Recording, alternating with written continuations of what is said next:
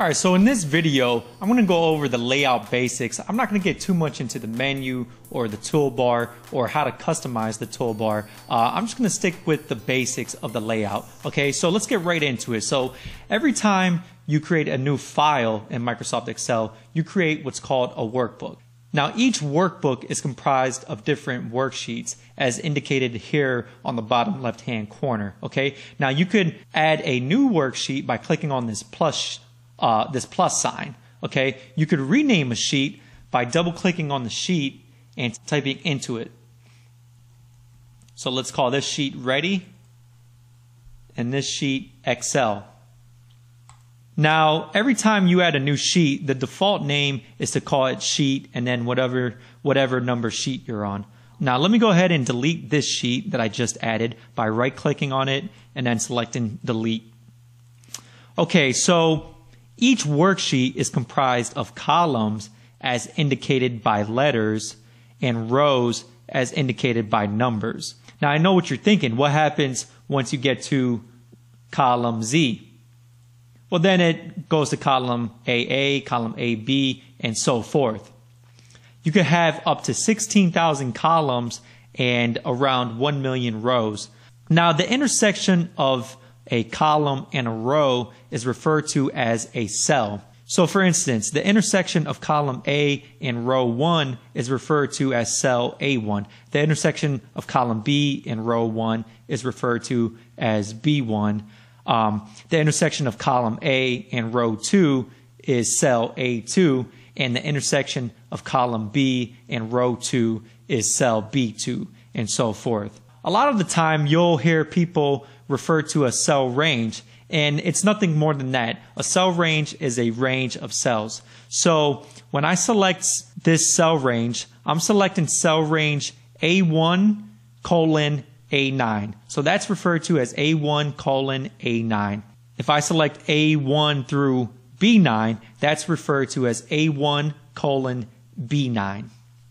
Now, data can be typed directly into a cell or into this formula bar right up here. Okay, so I'm going to type ready, okay, by typing into that formula bar. But now I'm going to type directly into the Excel, or, or sorry, di directly into the cell without using the formula bar. So let me type Excel right there. You could resize a column or a row by hovering your mouse between column A and column B and once you do that, you should see this little icon pop up. You can make a column more narrow or you can make it more wide. There's also a, a feature called auto size. So let's say the column is more narrow um, than the data in the column. Well, all I have to do is come over here and double click and it automatically resizes it. Now let's make our row larger than it should be and then let me double click and it automatically resizes it. So let me add some more data into these cells.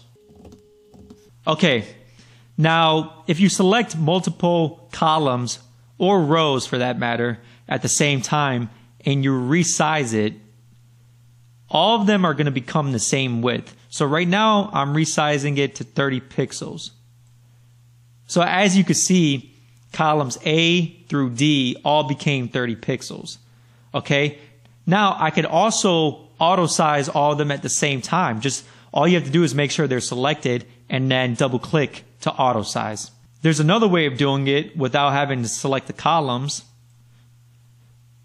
Okay. So what you could do is click on this top left corner and basically what that is is a select all. And once everything is all selected, all you have to do is a double click to resize and it resizes everything. And the auto resize is something that I use all the time, and it's going to be something that you end up using all the time.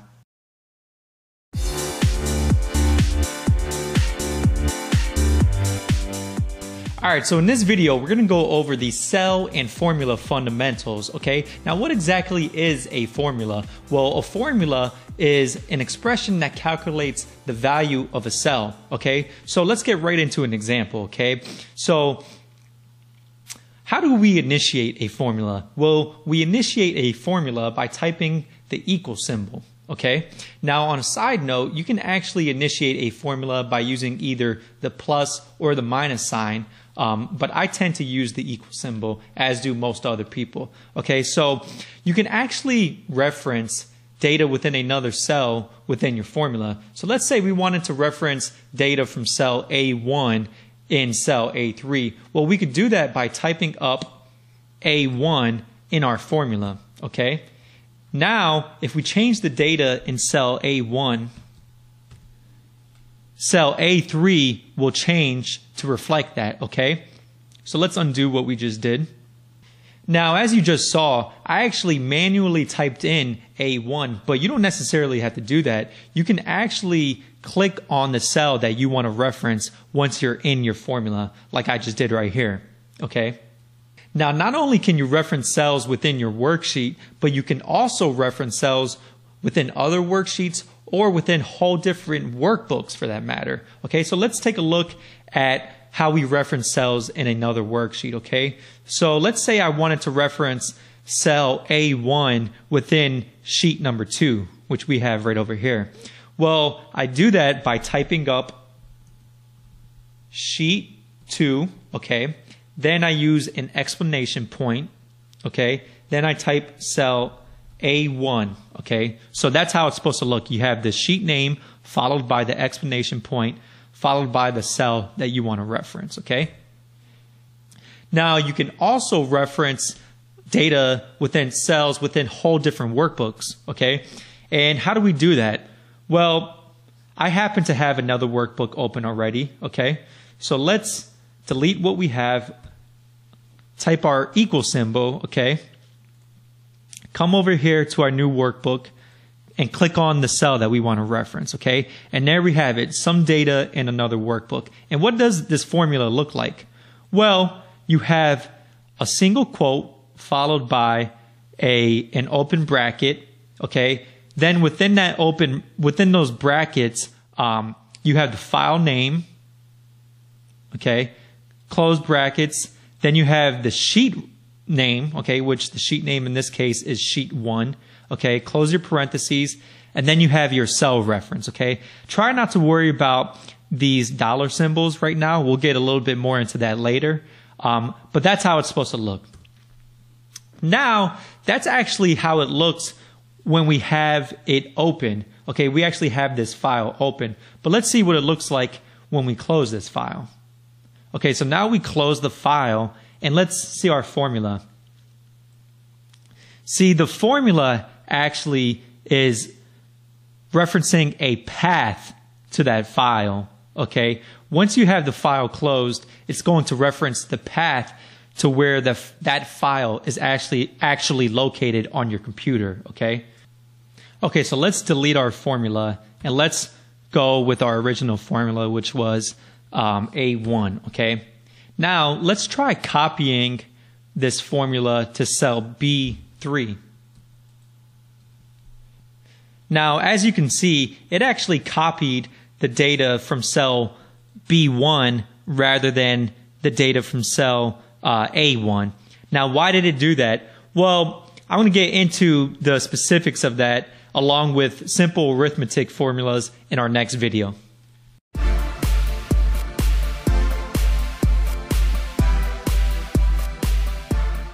Alright, so in this video, we're going to be going over basic arithmetic formulas, uh, and we're also going to be getting into the difference between relative cell references and absolute cell references, okay? So let's go ahead and dive right into it, okay? So in this example, in column B, we have our quantity, and in column C, we have our price, okay? So what do we want to do? Well, in column D, we want to calculate our total, which is going to be our quantity times our price, okay?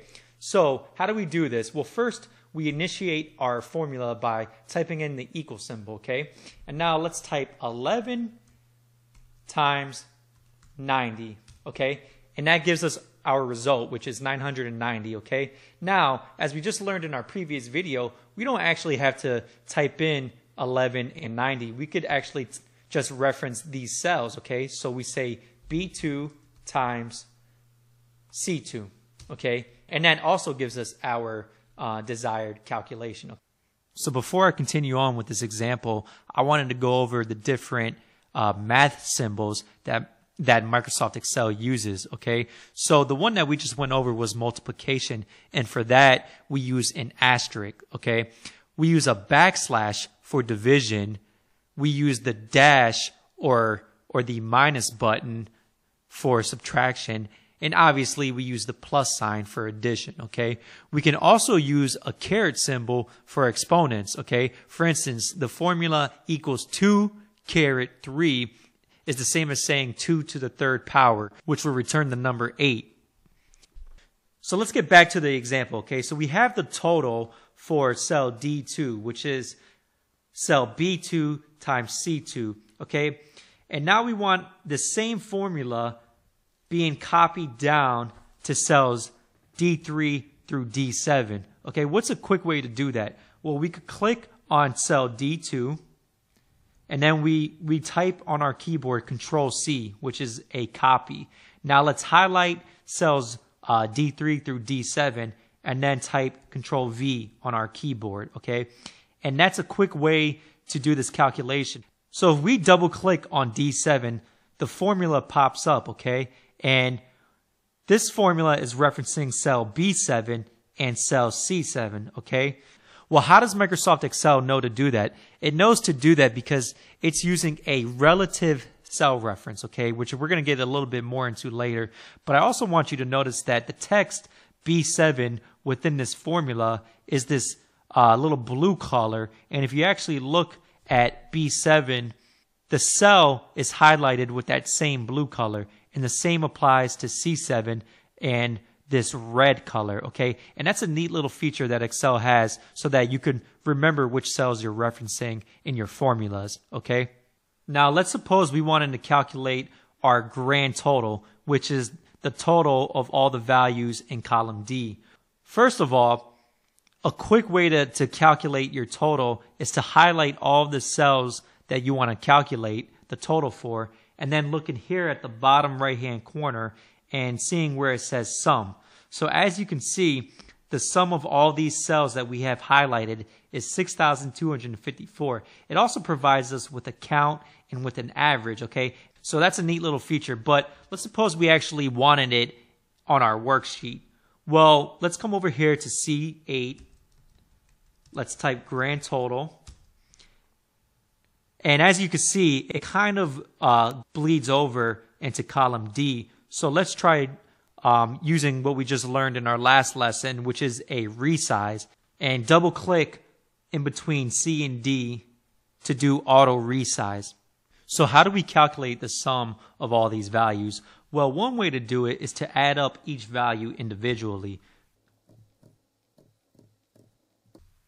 And that gives us 6,254 okay?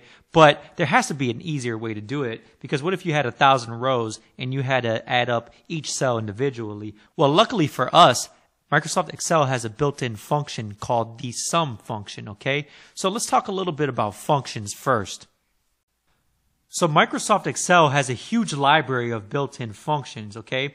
Now each function consists of two parts. You have the function name and you have the function arguments. Function arguments are enclosed by parentheses and are separated by commas, okay? Optional arguments are enclosed by brackets. Now, all this uh, might seem a little bit confusing right now, but it will make a lot more sense uh, once we start looking at examples. So let's take a closer look at the sum function. So the first thing we need to do is delete what we already have in D8, okay? Now, let's initiate our sum function by typing the equal sign and starting to type the function name. Okay.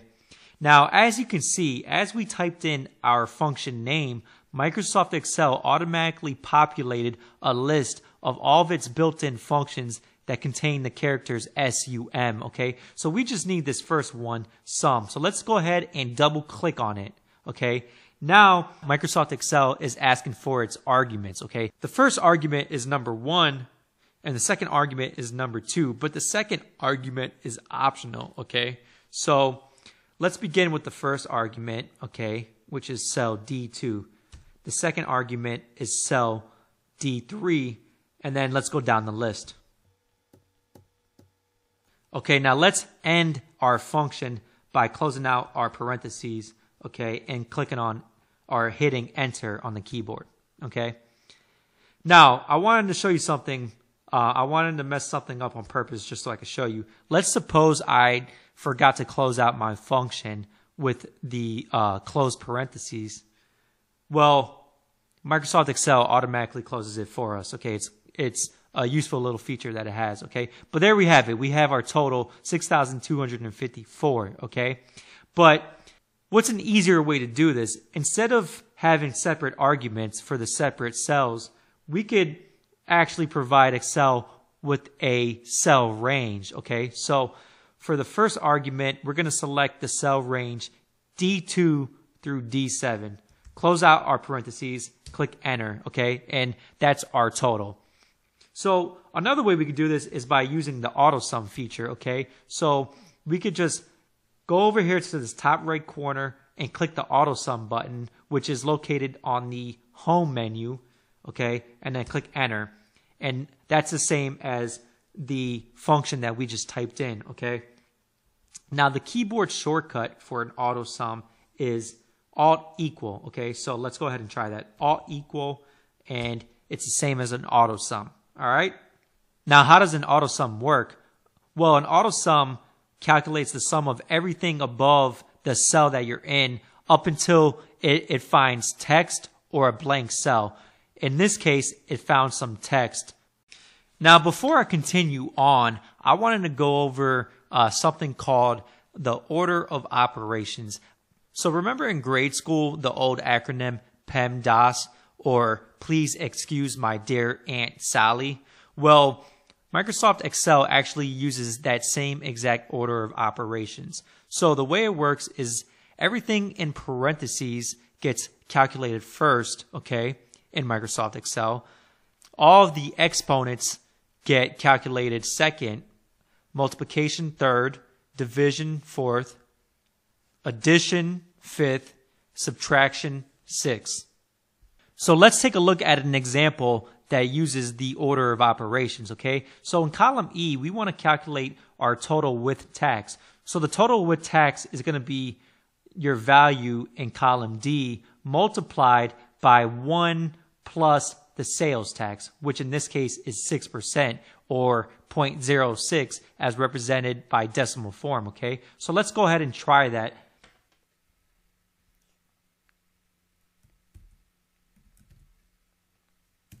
Now, as you can see, we completely screwed up this formula, okay? All we did was we take we took uh, 990, multiplied that by 1, which is still 990, and added 0.06. So what's the correct way to do this? Well, the correct way to do this is to take the 1 and the H1 and wrap that in parentheses, okay? That way, Excel performs 1 plus H1 first and then multiplies that by D2, okay? And there we have it. That gives us our total with the tax. So let's try copying our formula from cell E2 into cell E3, okay?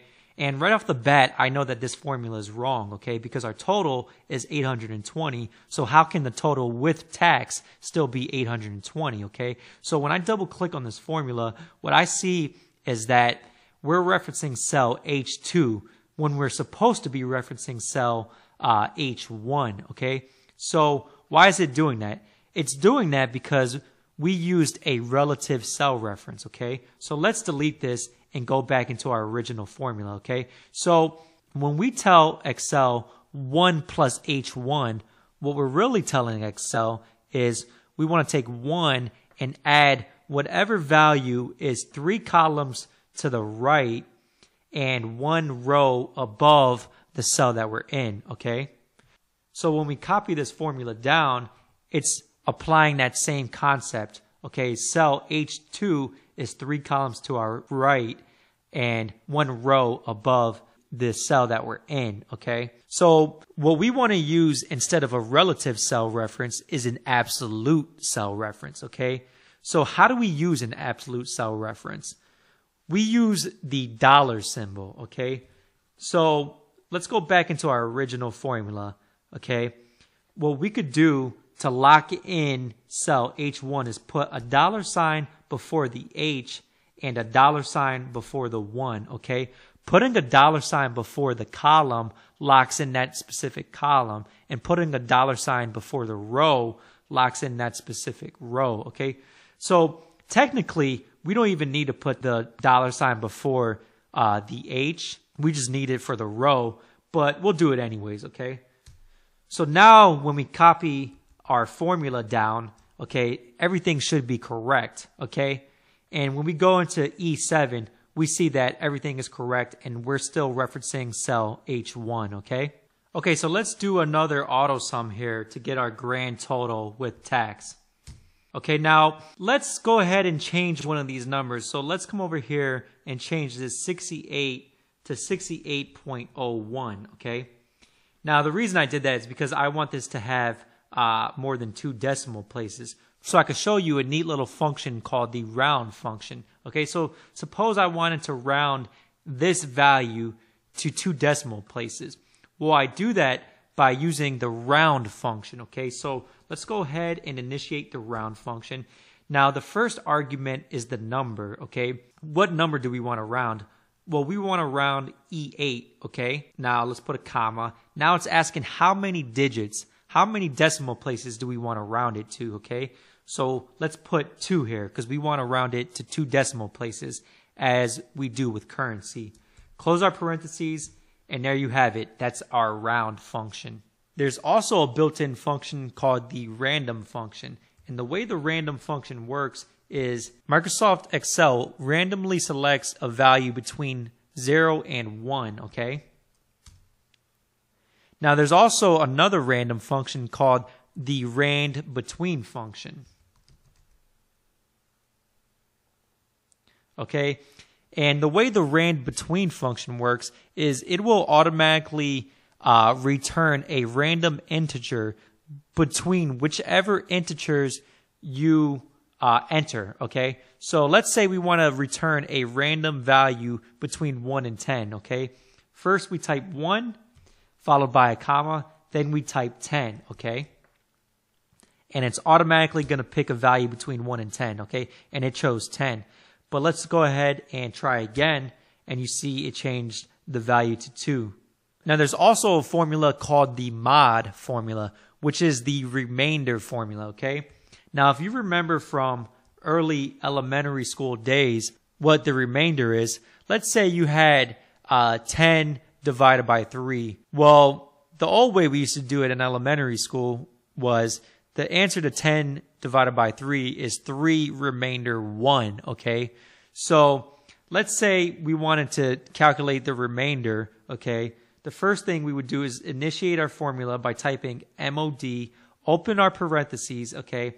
Then our, our number is going to be 10 and our divisor is going to be 3 and that should return 1 because the remainder for 10 divided by 3 is 1. There's also the pi function, which automatically returns pi, okay, accurate to 15 digits. Again, there's no arguments for pi. It doesn't require any. There's also another function called the absolute value function. So suppose that um, we had a negative value for cell E8, okay?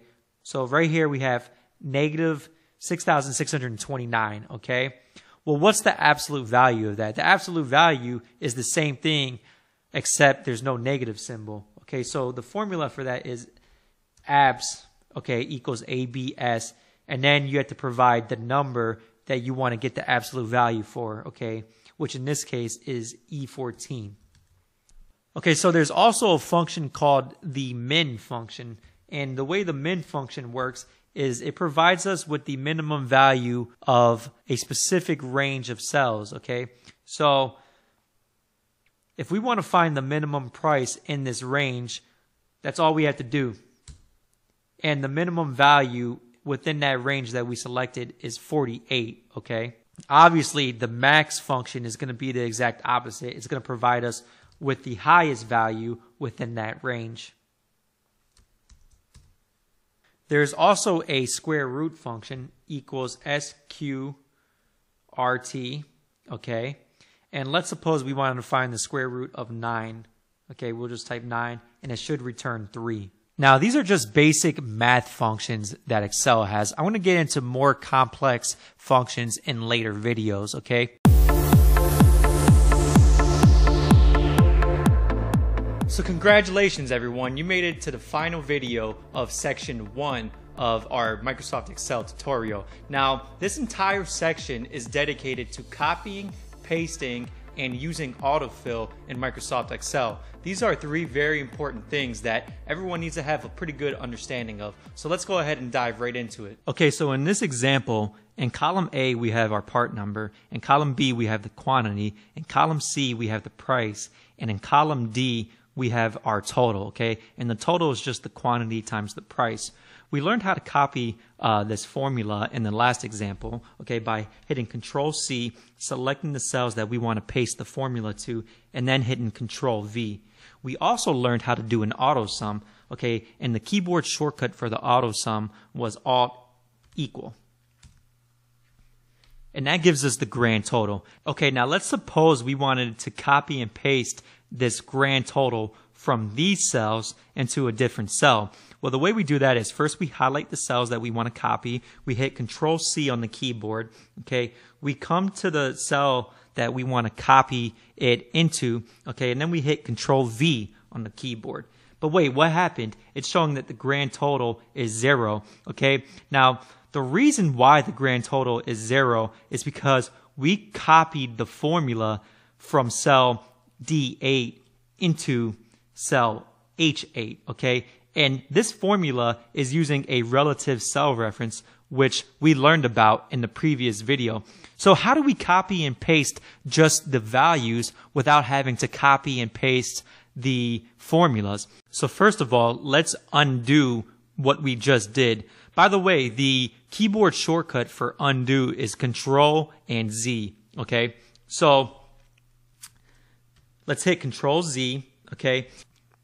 Now, this little dashed box that's uh, rotating around the cells that we just copied, that indicates that we just copied these cells, okay? So to get out of that, you just hit the escape button on your keyboard, okay? But let's go back into these cells, okay? And let's hit control C again, okay?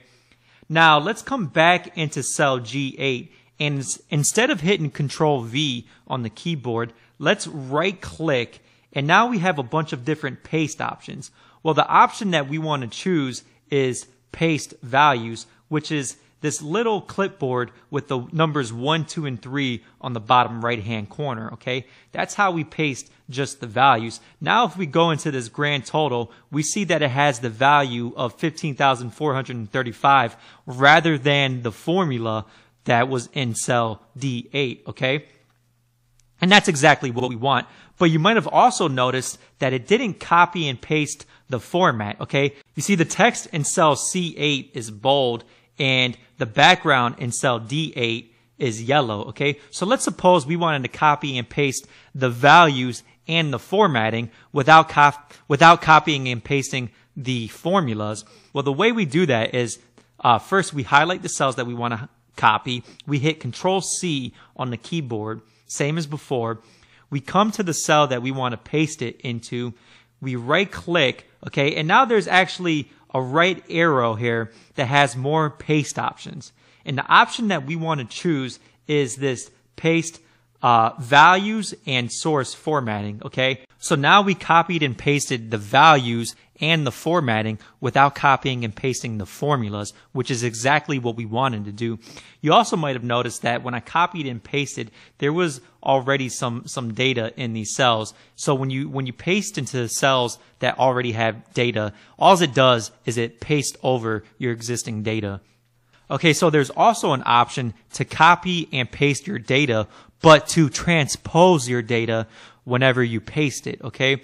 So let's suppose we wanted to copy and paste these part numbers, okay? But we wanted it to display horizontally rather than vertically. Well, the way we do that is we highlight the cells that we want to copy. We hit Control C, same as before. Okay, now let's come to cell G5. Let's right click and then there's an option right here that says transpose for your paste options.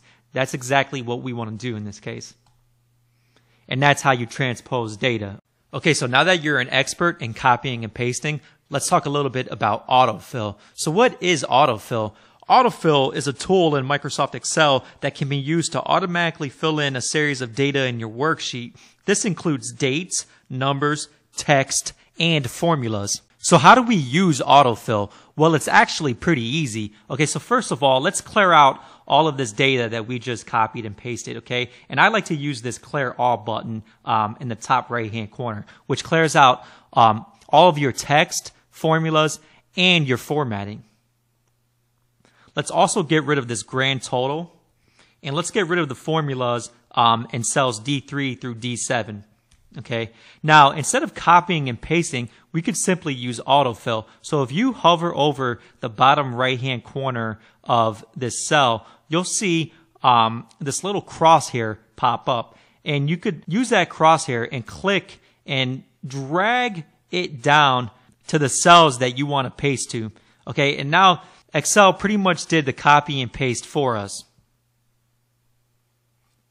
Now you can also do it without dragging the data. Instead, you could just hover over that bottom right hand corner and double click. So Excel automatically knew uh, to go all the way down the list of parts up until we got to a blank row. Okay.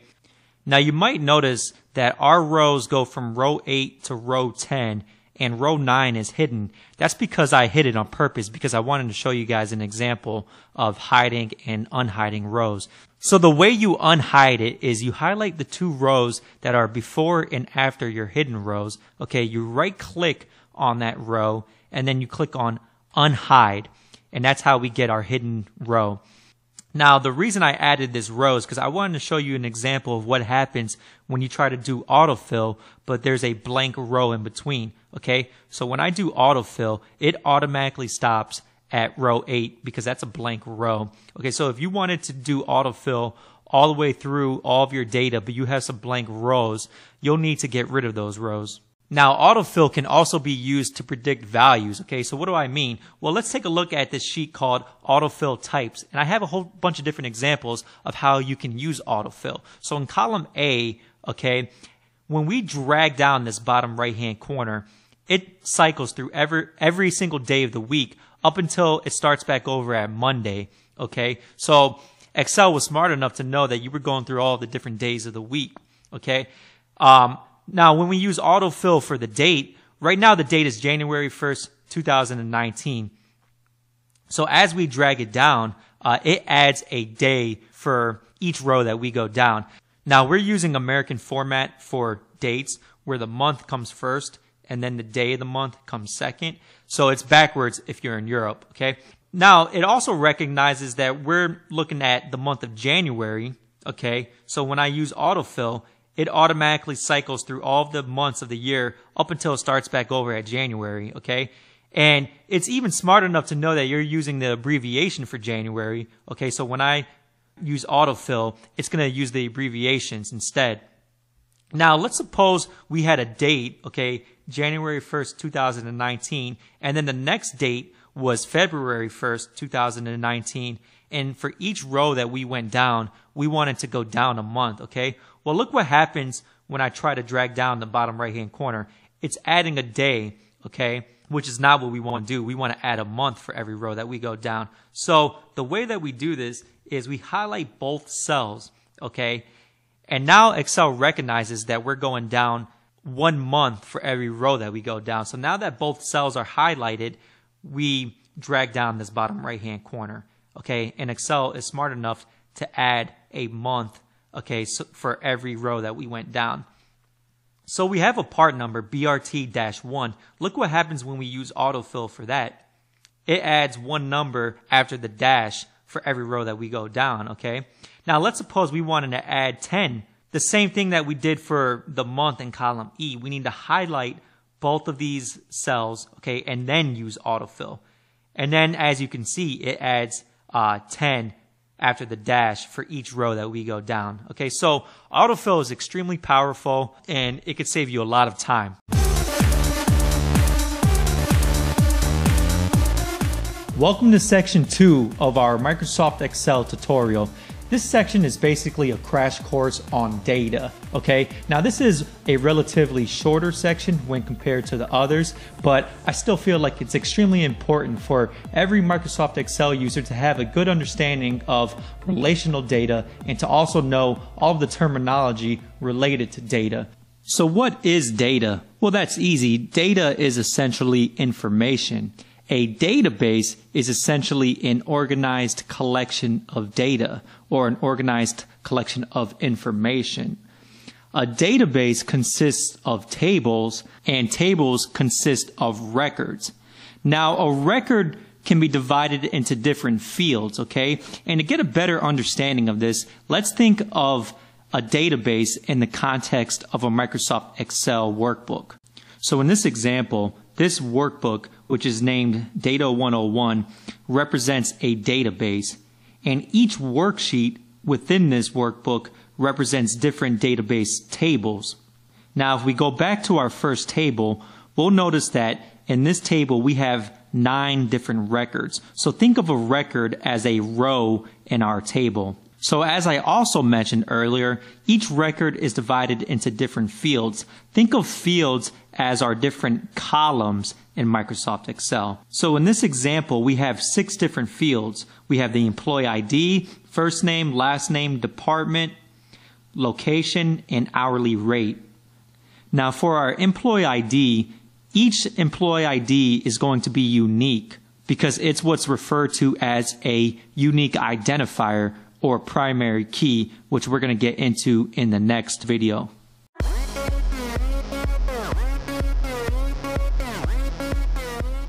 Okay, so now that you know a little bit about data and the difference between tables, records, and fields, let's talk a little bit about relational data. So what is relational data? Well, it's exactly what it sounds like, data that somehow relates to each other. So in our last video, we finished off by mentioning that the employee ID field for this table contained the primary key for this table. So what is a primary key? A primary key is a unique identifier for a database record. Most of the time, the primary key is a number, but it can also be text or a combination of numbers and text. So what do we mean by a unique identifier? Well, let's look at employee number one, okay? Employee number one is Kenneth Martin, okay? His employee ID is number one, which means that no other employee on this table can have an ID of number one.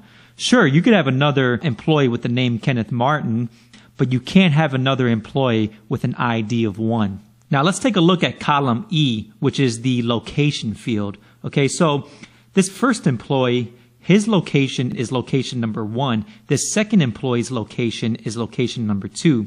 So what is this? This field represents a foreign key.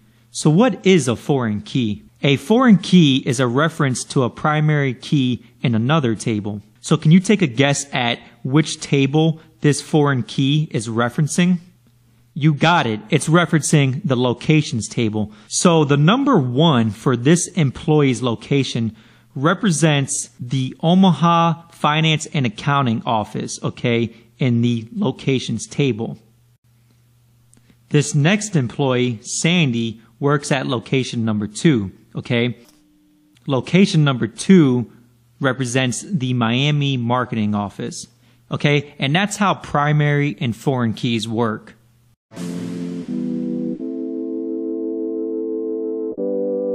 So in this video, I'm going to talk about formatting cells. Now formatting cells can mean two different things. On one hand, it has to do with the actual style of a cell. You know, things like font, font color, font size, background color, whether or not you want borders around your cells. All of these things have to do with the actual style of a cell. Now, I'm not going to cover uh, any of these things because they're all pretty easy to do and they're pretty self-explanatory. Now, on the other hand, though, formatting cells also has to do with how Excel displays data from that cell. For instance, how does Excel know what format to display a date as, or whether or not you wanted to display a number as currency? All these things we're going to cover in this section. So a cell can be one of three different things. It could be a number, it could be text, or it could be a boolean. Uh, don't worry too much about booleans now. We'll get into that uh, later on. Now, if a cell contains a number, that number could be formatted many different ways. It could be formatted as a date, it could be formatted as time, as currency, as a percentage, as a fraction, in scientific format. Um, those are just some examples of how a number could be formatted. Now, you may be asking yourself, how can a number be formatted as a date? For instance, let's say we had the number 5. How do we convert the number 5 to a date? Well, by default, the number 1 represents the date January 1st, 1900 in Microsoft Excel. And the number 2 represents January 2nd, 1900. So obviously the number 5 would represent January 5th, 1900. So as of this recording, today's date is May 9th, 2019, okay? And the number that represents today's date is 43,594. So that means that it's been 43,593 days since January 1st, 1900. So now that we have dates covered, let's talk about time. Since the number one represents one day, then the time of the day is represented by a fraction of one. For instance, the time 12 noon represents 12 out of the 24 hours in a day, so noon is expressed by the number 0.5. 6 a.m. represents 6 out of 24 hours of the day, so that's expressed as 0.25. And 6 p.m., okay, that represents 18 out of the 24 hours of the day, so that's expressed by the number 0.75, okay? Now, what if we had the time 6:30 p.m. and we wanted to convert that to a number? Well, that would be expressed as 18.5 out of 24, okay, which is 0.7708333. Okay, but enough of me explaining all of this to you. Let me go ahead and show you an example, okay? So in the following workbook, which is called Formatting Data, we have a worksheet called Dates and Times, okay? And in cell A2, we have the number 0.5 and we want to convert this number to a time. Well, we already learned that 0.5 represents 12 p.m. So we already know this should give us 12 p.m. But how do we convert this to a time? Well, in the home menu bar, there's this section up here, okay, which is the number format section, okay? And on this drop down list, we have a bunch of different number formats that we could choose for this cell, okay? Now we want to select the time, okay? So it returned 12 p.m., okay, which is exactly what we expected. Now, if we apply the same formatting to 0.75, it should give us 6 p.m., which it does, okay? Now, let's suppose we wanted to convert this number 1 to a date. Well, the way that we do that is we come over here and then we choose the short date. And then we see that it's January 1st, 1900. And then the number two should be January 2nd, 1900. Okay. Now you can also convert something to a date and time. So 1.5, what should that be? Well, that should, that should represent January 1st, 1900, 12 p.m. Okay. So if we come to this drop down menu, how do we choose a date and time? Well, it's not one of the options available on this drop down on this drop down list. So let's come over here to to more number formats, okay? And now we have um, under the date category, we have a bunch of different formats that we can convert the date to. And let's choose this one right here, which gives us the date and the time, okay? Now let's suppose that we wanted to take this number in cell F2 and convert it to a date and time, but we wanted to convert it to a very specific date time format, okay? We want to convert it to the following format, okay? We want leading zeros, okay, for our month. We want leading zeros for our day, and then we want the full year, okay?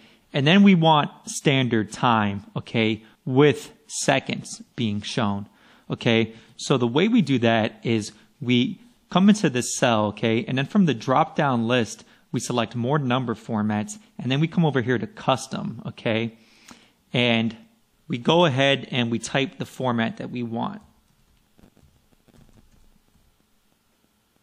And as you're typing it, you can see a little preview up here.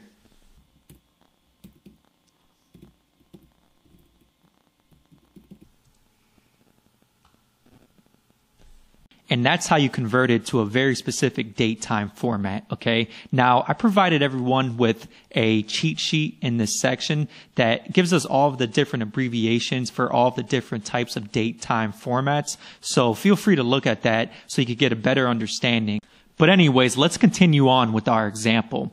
In cell G2, we have today's date and we want to convert this to a number. Well, we already determined that the number for today's date was 43,594. So if we come up here and we select general, we see exactly that. Now let's convert this date time as well uh, by using this general option. We see that it converts it to the same number as G2, but it also has the time as expressed by a fraction. Now I wanted to show you guys something called the format painter, which a lot of you may already be familiar with. The way it works is, let's suppose that we really liked the format in cell F2, um, and we wanted to convert E2 to that same date time format.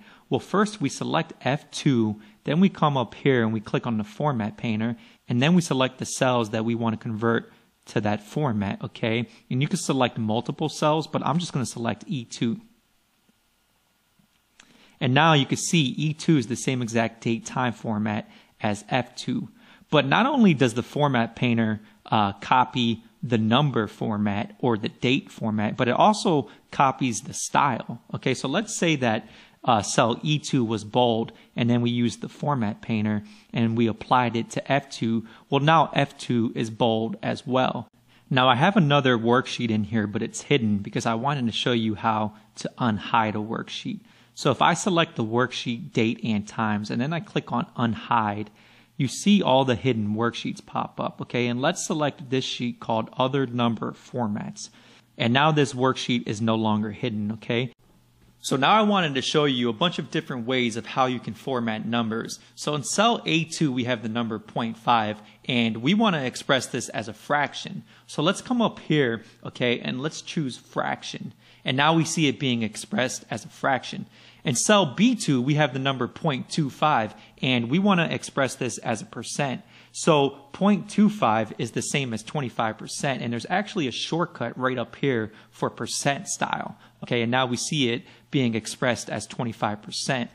In C2, we have the number 3.45, and we want to express this as currency. Well, there's also a shortcut up here for currency, and there we have it. Now in cell D2, we have a number with a bunch of decimal places. And what we want to do is we want to only show two decimal places. So the way we do that is we come up here and there's a shortcut for decrease decimal. And every time you select that, okay, it decreases one decimal place. And to the left of that, we have um, this option for increase decimal. And every time we select this, it increases it one decimal place. Okay. So let's go ahead and only show two decimal places.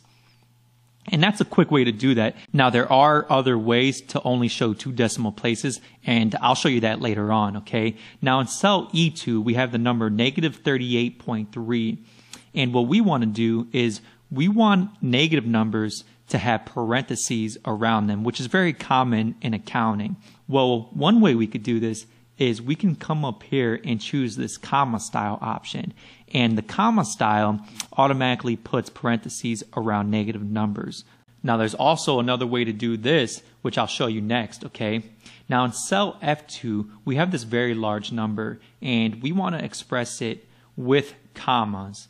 So a quick way to do that is to choose that same comma style option, okay? But if you notice, it automatically adds two decimal places to the end of this number. Well, what if we didn't want those decimal places? Well, what we could do is we can come up here, okay, to this drop down menu and choose more number formats. And let's come over here to number. And now we see, okay, decimal places two. Let's change that to zero. Okay, and now we see that it's using a 1000 separator, which is the comma, which is exactly what we wanted. So let's keep that selected. And now in this part, it's asking us how do we want to display our negative numbers. Okay, the first option is to actually have a negative sign and for it to be black. The second option is no negative sign and red. The third option is parentheses around the number. And the fourth option is parentheses around the number and red. Okay, so let's stick with the default. It doesn't even matter for this one because this number is not even negative. Now let's copy this format into G2. Okay, and now this number is being expressed with commas without the decimal places as well. And that's exactly what we want. Now I wanted to cover one more thing. Let's suppose that in E2, we wanted the negative numbers to be in parentheses, which it already is, but we also wanted it to be red whenever there's a negative number. So let's come back up here to more number formats. Let's choose number, okay? And now let's choose this last option here. And now it's showing as red as well as within parentheses. So let's suppose we had more data in the rest of these cells. As you can see, the format in cells E3 and E4 is totally different than the format in E2. Well, why is that? This is because we never applied the format in E2 to the rest of these cells, okay? So a quick way to apply it to the rest of the cells in column E is to select E2, okay, choose the format painter, and then click on the column. And now the rest of the column is the format that we want it to be. So if we come into E5 and we type up another number, another negative number, we'll see that it's formatted the way we want it to be formatted. Okay, and these are just a few examples of how you can format numbers.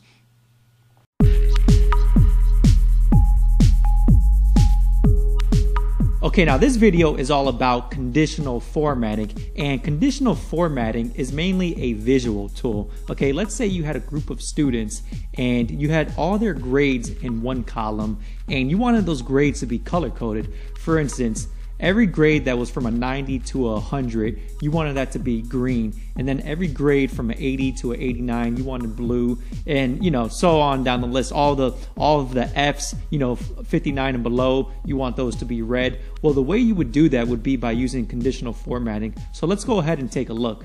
Okay, so here we have a list of a bunch of different students, okay? And for this for this particular class, these students took 3 tests and there is a possible 300 points for, for all three of these tests, okay? So their grade is their total points divided by the total points possible. Okay, so that's their grades in column G. So first of all, let's put this student list in alphabetical order. Okay, so let's come over here to the data tab and let's click on the sort A through Z button. Okay, now what we want to do is um, let's express column G as a percent. Okay, so let's come to the home uh, tab and let's click on this little percent sign right here. Okay, now it's being expressed as a percent, but let's go ahead and add a couple of decimal places to the percent. Okay, so let's click on this button right here, increase decimal. And let's show two different decimal places, okay? Now, I don't like how wide uh, column F is because of cell F1. And uh, I forgot to show you earlier, but I'm going to show you now the, this wrap text feature. So if I come up here, okay, and click on this wrap text button, now if I make this column more narrow, you don't see it right now, but the text points is now below the word possible. Okay, so if I want to show that, let me come over here to between rows one and two and double click. Okay, now you see possible points.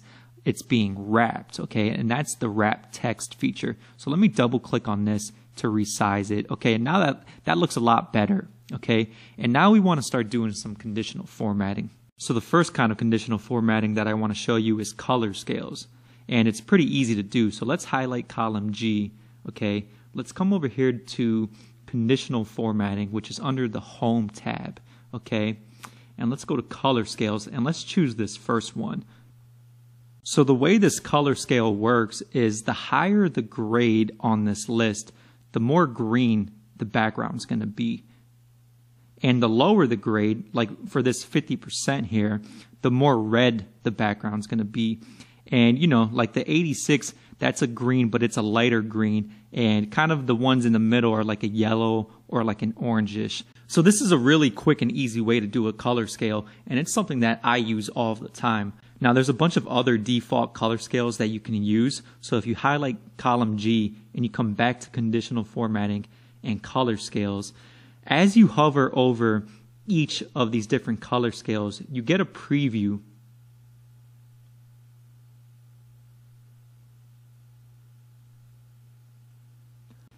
And you can also customize your color scale. So if you come over here to more rules, okay, now you can put your settings as to how you want your color scale to be applied. And this is all pretty self-explanatory, so I'm not going to walk you through it, but uh, feel free to mess around with it. But I like to stick with the main green, yellow, red color scale. So let's click cancel.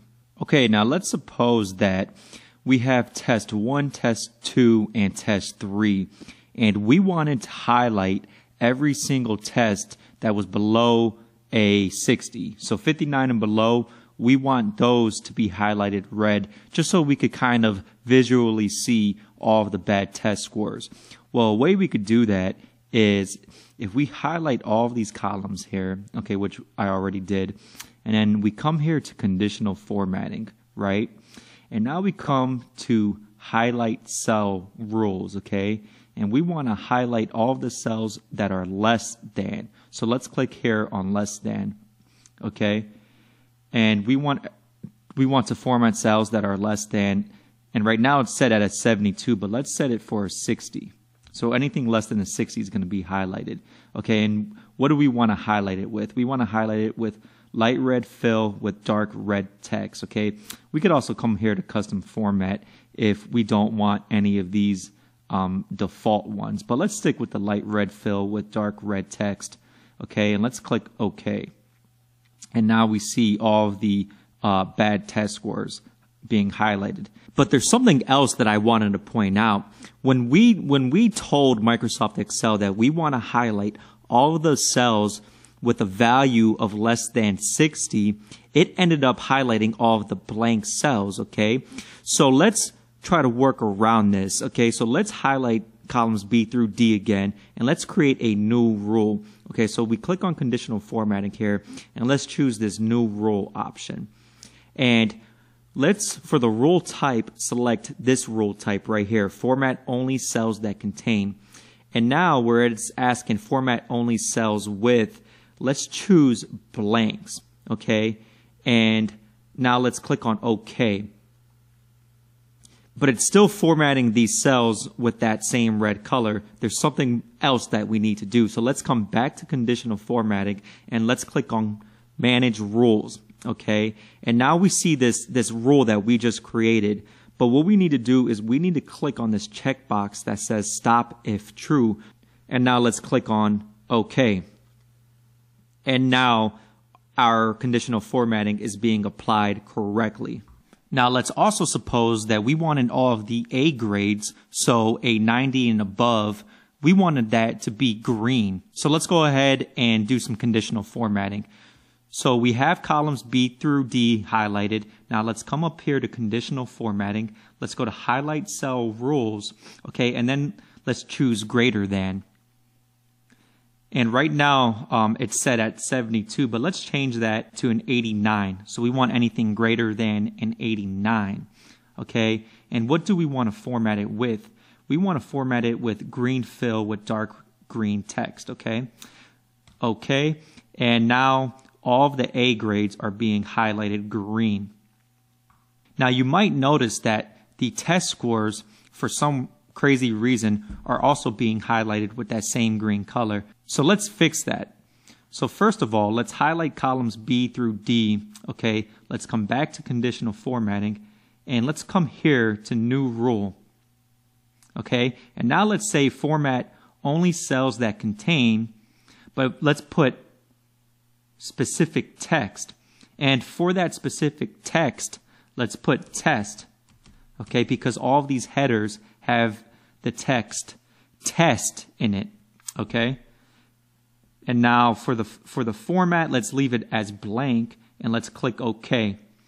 But it's still green, so there's one more thing that we have to do. Let's come back to conditional formatting. Let's go to manage rules and let's check this box right here where it says stop if true. Same way as we did before. Now let's click apply and OK. And now everything is how we want it to be. Now let's suppose there's one more rule that we want to apply. We want all of the B's, so from an 80 to an 89, we want all of those cells to have a blue background. So let's re-highlight columns B through D. Let's come to conditional formatting. Let's choose highlight cell rules. And now we want to choose between. And we want our lower value to be 80 and our upper value to be an 89. And what do we want to format it with? Well, we don't want any of these default options. So let's come over here to custom format. And now let's choose the fill option. And now let's select this blue color right here. Let's click OK and let's click OK. And now you see that formatting being applied to all of the B grades. But let's suppose that we don't like that formatting. We think that the, the background is too dark and the red text is, is no good. So let's let's come back to conditional formatting and let's click on manage rules.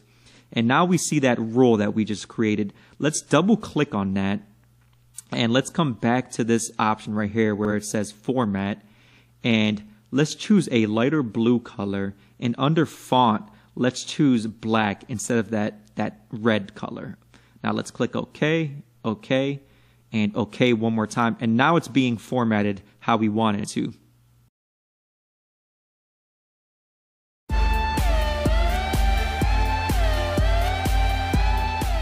Now let's talk a little bit about data validation. Now I'm to try to keep this section short and sweet because honestly I feel like data validation is a little bit overrated. Um, it's not really something that I use that often, but that being said, you should still understand what it is and how it works and how to use it. And who knows, you might end up using it more than I do. Okay, so here we have a list of employees, okay? This is under the data validation file on the employees tab. Okay, but anyways, let's suppose that Sandy is our secretary and one of Sandy's duties is to update this spreadsheet every time that we hire a new employee. But we want to make sure that Sandy is entering all of this information in correctly. For instance, we want to make sure that when she puts in an employee ID, that the employee ID is a positive whole number. We want to make sure that the first and last names, you know, don't exceed a certain amount of characters. Also, we want to make sure that Sandy only enters valid department names. That way she doesn't misspell it or enter a department that doesn't even exist. Um, so we could use data validation for that. And, you know, let's suppose that minimum wage was 825. Um, we could use data validation to make sure that she doesn't enter an hourly rate below 825. And you could even use data validation for dates. You know, let's suppose that the business opened on January 6th 2016. Well, you can use data validation to make sure that Sandy can't enter a date before that. Okay, so let's start off with the hire date. Now, the way that it works is whatever cells you have selected, that's what the data validation is going to be applied to. Now, I usually like to select the entire column. Okay, this ensures that, you know, no matter how many records we add, that the data validation is still going to be intact. So if you go to the data tab, there's this little icon, okay? If you hover over it, you'll see data validation. Okay, so let's click on data validation. Now it's asking us the validation criteria, okay? So we want the criteria to be a date, and we want to make sure the date is between January 6, 2016, which we said was the start date. And then for the end date, we could just put some arbitrary time in the future. And then let's click OK. So now if I try to enter some text here, I get an error message. If I try to enter an earlier date, I also get an error message, okay? But if I enter a valid date, it works for me. Now let's say we don't like this default error message, okay? Well, we can change that. If you re-highlight the column, come back into data validation, under the tab error alert, there's an option to change your error message. Okay. And now we see that error message. You can also add an input message and I'll show you how that works. Okay. So let's highlight column F. Let's come over here to data validation and let's go to input message and let's put a little tip here.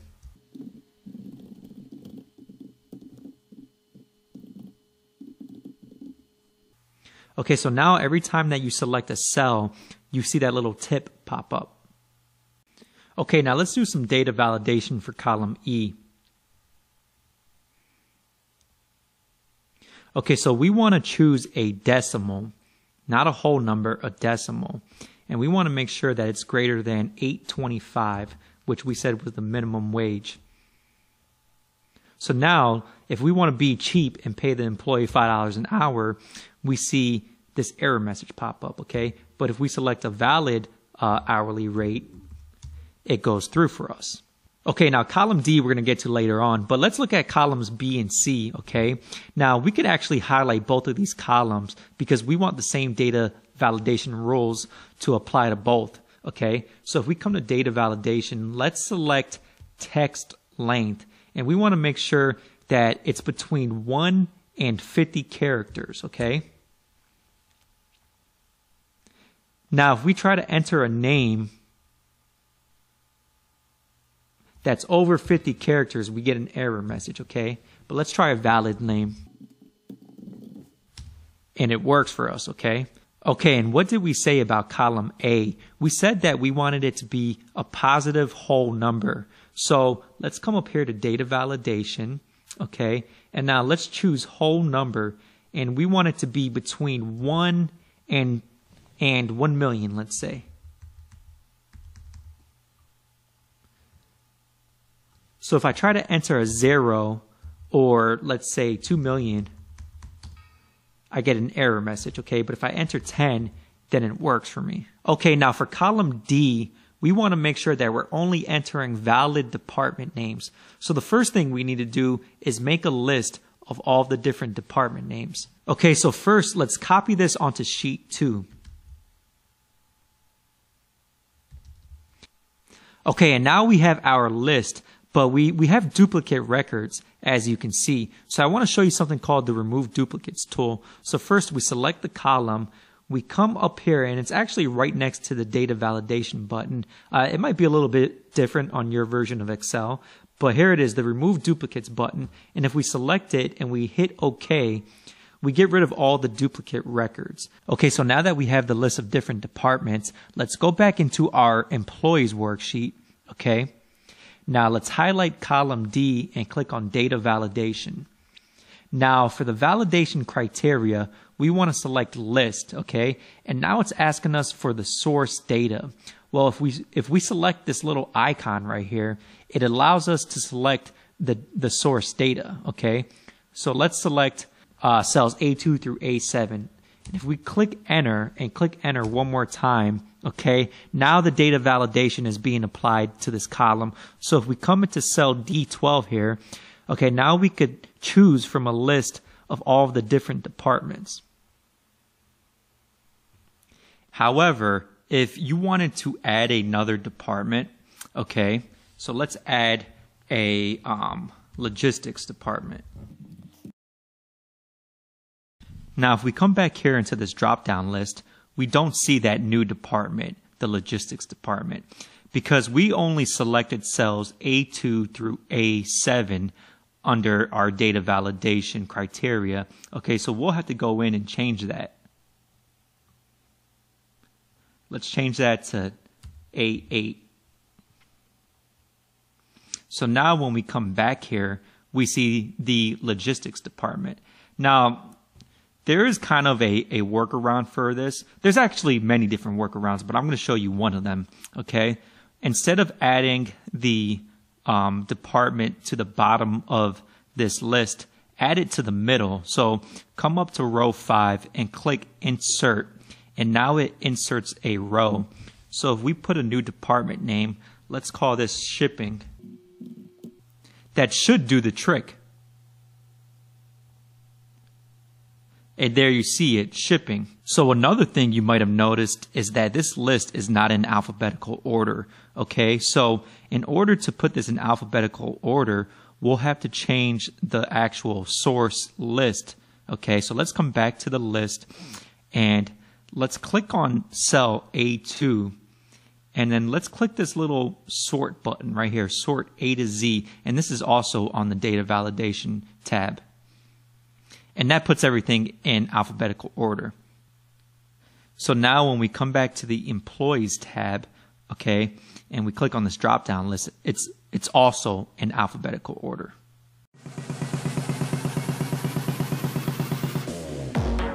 Okay, so this section is all about cleaning data. Now, a lot of the time, we work with very, very large amounts of data that come from various different sources. It could come from another spreadsheet that comes from a coworker. It could come from a bank statement, from QuickBooks, from different point of sale systems, or maybe even straight from the web. And on many instances, this data needs to be cleaned up so what do I mean by cleaned up? Well, it can mean a number of different things. Maybe the dates are in the wrong format. Maybe all the data is in one column and it needs to be separated into different columns. Perhaps the numbers are in a text format, but they need to be converted to numbers. Uh, maybe there's certain characters that need to be removed from text. Maybe certain text needs to be combined with other text. Like if you have someone's first name and last name, maybe you want to combine them. So Microsoft Excel provides us with a number of different tools and functions that allow us to easily clean up data, okay? So you could get the data into the exact format that you need it to be in by using these tools. So first, let's go over the text to columns tool.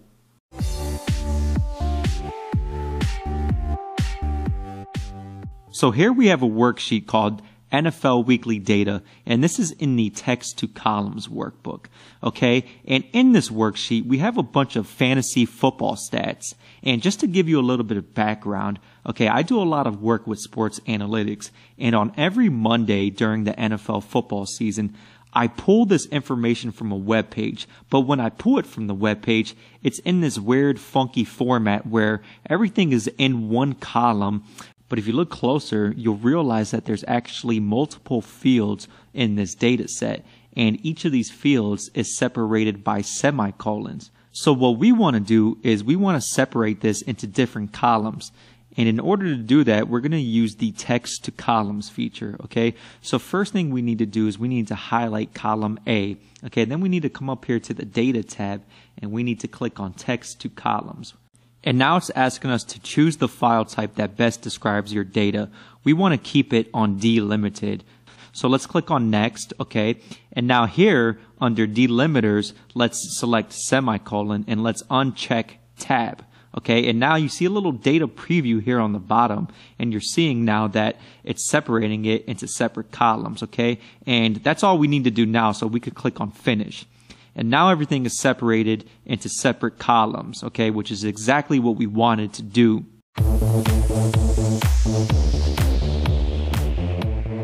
So now that everything is in separate columns, I want to show you the filter feature. So first of all, what is data filtering? Data filtering is the process of choosing a smaller part of your data set and using that subset for viewing or analysis. So in this example, we have a bunch of fantasy football scores for every player in the NFL for a particular week. So in column A, we have the player name. In column B, we have that player's position. So in this first example, his position is QB, which means quarterback. In column C, we have the team that this player plays for. So in this first example, Patrick Mahomes plays for KAN, which is the Kansas City Chiefs. In column D, we have the opponent, Okay, so this is who this player went up against. Uh, in this particular example, he went up against the Oakland Raiders. In column E, we have home slash away. So this means was this player at home or was he away? Um, in this example, he was at home. That's what the H stands for. In column F, we have the salary.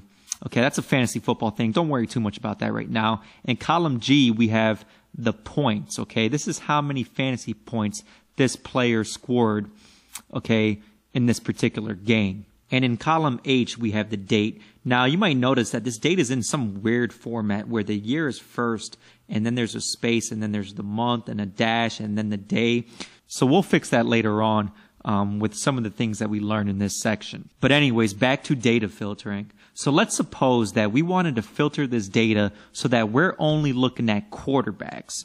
Well, we're going to do this by using a data filter. So first, let's make these headers bold. Okay, control B is the shortcut. Okay, and now let's apply a filter.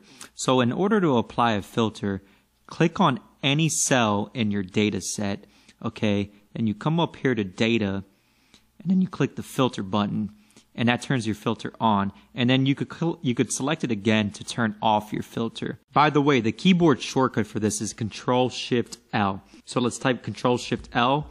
That turns the filter on, and then we could type Control Shift L again, and that turns it off. But I wanted to point something out. If you have any blank rows in your data set, well, your filter is going to stop right there.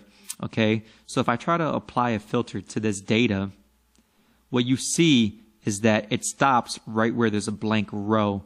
So in order to work around this, first let's turn off our filter. And now we need to highlight our entire data set. Okay, so let's come all the way to the bottom of this data set and make sure everything's selected. And now let's choose filter. And now, as you can see, our entire data set is ready to be filtered. So what did we say we wanted to do? We said that we only wanted to see quarterbacks, okay? So we need to apply a filter to column B. Let me expand that. Okay, so let's select this little option right here and let's de deselect all, okay? And now let's choose this QB option. Let's put a check mark right there. And now, as you can see, our entire data set is being filtered and the only records we can see are the records that have QB as their position. Now let's suppose we only wanted to view quarterbacks who scored over 20 points in column G. Okay, so let's keep the existing filter on and let's come over here to column G. Okay, let's click on this option and now let's go to this part that says number filters and let's choose greater than or equal to and let's let's type in here 20 so now it's only showing all the quarterbacks who scored more than 20 points. Now, if we wanted to unfilter this data so that we can see the entire data set again, um, first we could come up here, okay, and we could click on select all again, and that turns off our filter for column G. But now we still have the filter on for column B. Okay, so we need to come over here and we need to select all for this one as well. And now there's no longer a filter on all of our data. Okay, now let's suppose we only wanted to see running backs who scored more than 20 points. Okay, so let's come over here to position. Let's deselect all. Okay, and let's choose RB. And now let's come over here to column G, number filters, and then let's put greater than or equal to 20. And now you can see there's a, a much smaller subset of data for running backs who scored more than 20 points. Now, there's another way we can unfilter this data, and that's to come up here, okay, by the filter button and click this clear button, and that clears out all of the existing filters. Now, you can basically filter for any criteria you can think of. So let's say we only wanted to, for some reason, see guys named Mike. Well, let's come over here to text filters, and then let's come down here to contains okay? And then let's put Mike. And as you can see, it's being filtered for guys with the name Mike. And that's how you filter data in Microsoft Excel.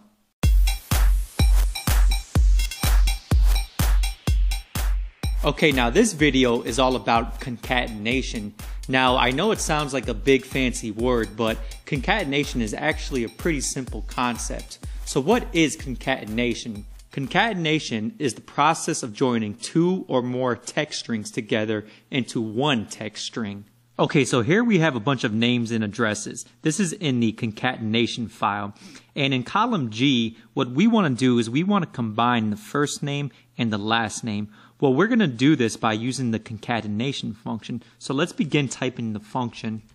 And now you see it pop up right here. So let's choose this first one, concat. And now it's asking us for the first text string. Well, the first text string is going to be the first name, okay? And now let's type a comma, and now it's asking us for the second text string, so that's going to be the last name. Now let's close our parentheses and let's see what happens. So as you can see, it combined the first name and the last name, but there's no space between the two uh, text strings. So let's come back into our formula and right after A2, we're going to want to put a space. So that space needs to be in quotations, okay? And then let's put another comma. And now let's hit enter. And now we see that it's putting a space between the first name and the last name.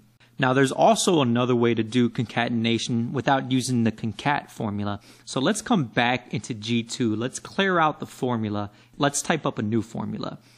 And instead of using the concat formula, we're going to use ampersands and I'll show you how it works. So let's select A2 followed by an ampersand followed by the space, which is in quotations, followed by another ampersand, and then let's choose the last name.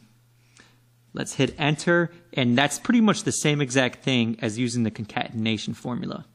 Okay, so let's do an autofill to copy these formulas down, and let's auto size this column. Okay, now let's come into cell H2 over here, and what do we want to do for H2? Well, we want to concatenate the address, city, state, and zip. That way we get the full address, okay? So we're going to use the concatenation function for this. Now the first text string is going to be the address. The second text string is going to be a comma followed by a space because we want a comma and a space after the street address, okay? Now the third text string is going to be the city followed by another comma and space, followed by the state, followed by just a space. Okay, we don't want a comma after the, the state, we just want a space. Okay, and then we're gonna we're gonna add the zip. Let's close our parentheses, and if I did this correctly, this should work out. And it did, okay? As you can see, we have a comma and a space after the street address, and then we have another comma and a space after the city name. So let's copy this formula down and expand this column. And now we can see we have the full address in column H. But there's one more thing that I want to show you. Let's suppose that we didn't want all of this information on one single line. Let's suppose that we wanted a line break right after the street address, okay? Well, we're going to use a char 10 in order to do this. So let's come back into this formula and let's get rid of this comma followed by a space and let's replace this with a char 10. And a char 10 is basically a line break. Now let's click enter.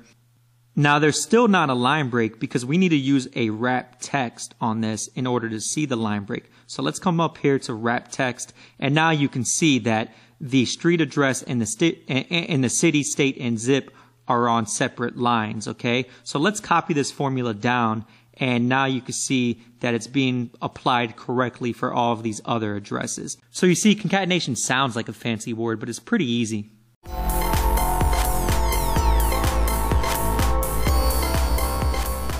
In this video, I'm going to go over five different functions in Excel.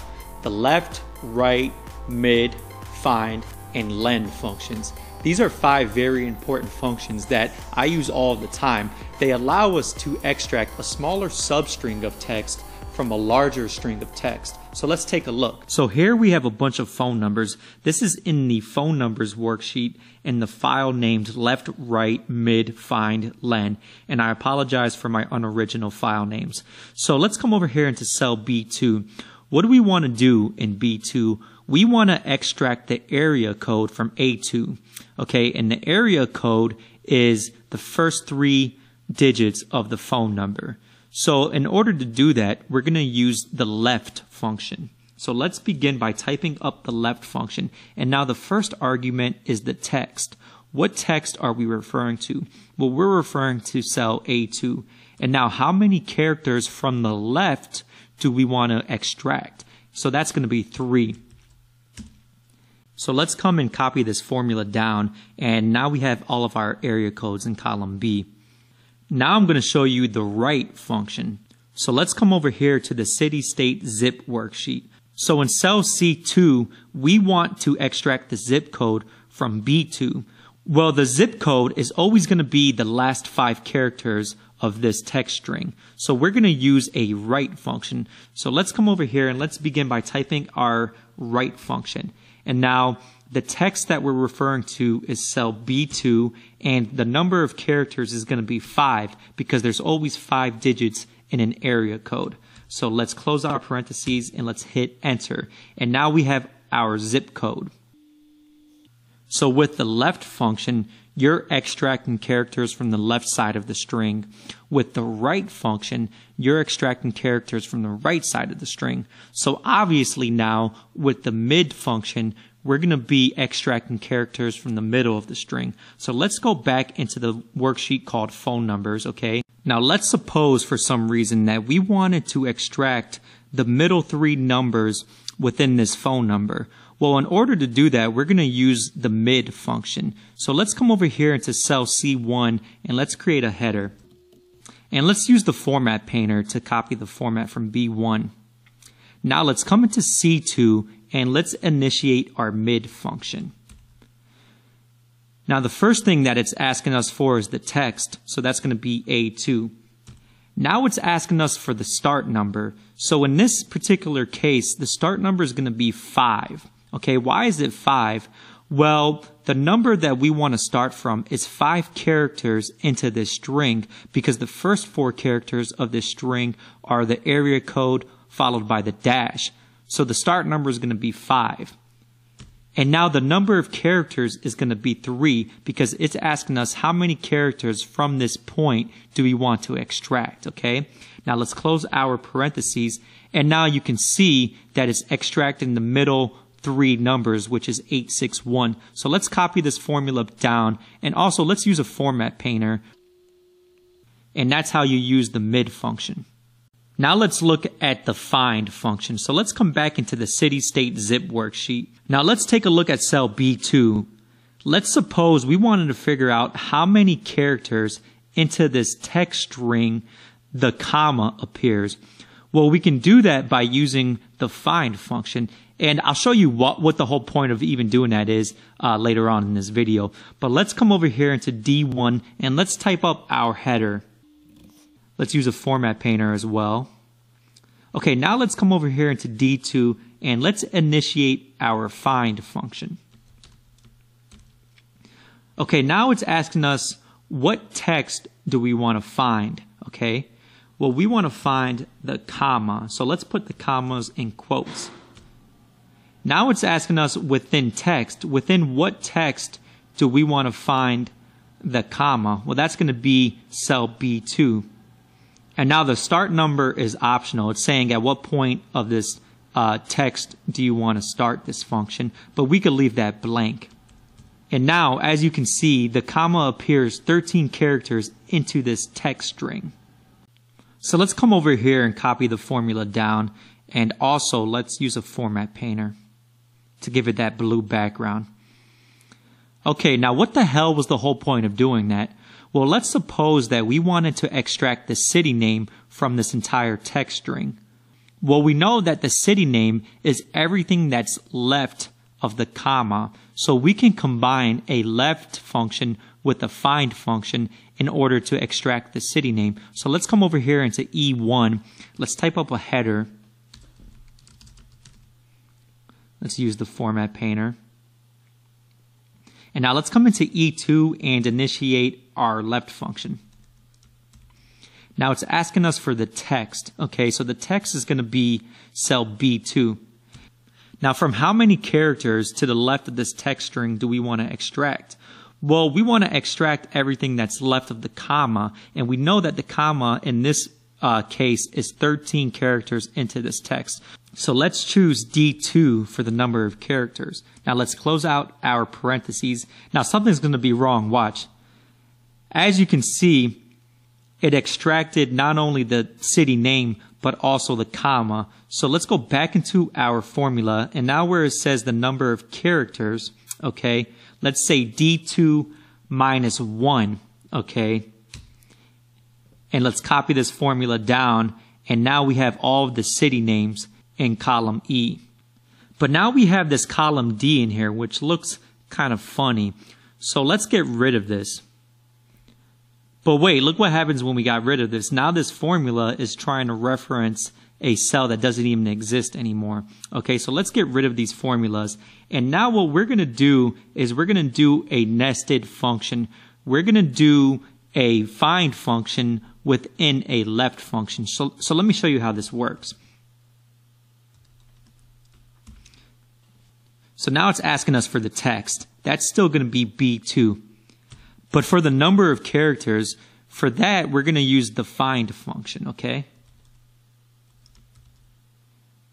So what text do we want to find? We want to find the comma, okay? And now it's asking us within text. Within what text do we want to find the comma? Well, that's going to be B2 still. And now let's close out our parentheses. But that's going to give us the number of characters where the comma starts. So we need to subtract one from that, okay? Now let's close out our left function. So let's copy this formula down to get all of the different city names. And that takes me to our last function of this video, which is the len function. So you can use the len function to tell you how many characters are in a specific string. So let's come over here into our worksheet called part number. Now in cell A2, we have a part number. Let's suppose that in cell B2, we wanted to figure out how many characters were, were in this part number. Okay, so let's type up the len function. Okay, and now it's asking us for the text. So that's going to be cell A2. And let's close our function. And that's pretty much it. So now this is telling us that there's nine characters in cell A2. Now if you notice, all of these part numbers have the characters dash FTR at the end of them. So let's suppose that we wanted to strip these characters out. Well, the way we would do that is we would use a left function in combination with the len function. So, so let me show you how this works. So let's come back into B2 and let's clear out the formula and let's initiate our left function. Now the text is going to be cell A2. Now it's asking us for the number of characters. Well, the number of characters is going to be the entire length of cell A2 minus 4. So let's type up our len function, okay? And now the text that we're referring to is cell A2. We close out of our len function and now we're going to say minus 4. Let's close out our parentheses. And now we have the part number without the dash FTR. So let's copy this formula down. And now we have successfully implemented a nested left and len function.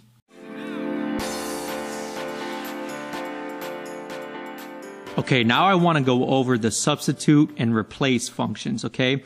So let's take a look at cell A2. Let's suppose that in this SKU, Okay, a SKU is another word for like a part number. And let's suppose for some reason we wanted to replace the dashes with an asterisk. Okay, well, we can use the substitute formula in order to do this. So let's go over here into cell B2 and let's begin by typing the substitute function. And now you see it pops up, okay? Now the first argument is the text. What text are we referring to? That's going to be A2. Now what's the old text? The old text is going to be the dash, okay? That's what we want to get rid of. And now the new text, well, that's going to be an asterisk because we want to replace the dashes with asterisks, okay? And now the instance number, that's an, an optional argument. I'll get, I'll get into that next, but we can close out this function and it should work. And as you can see, it did work. It replaced the dashes with asterisks.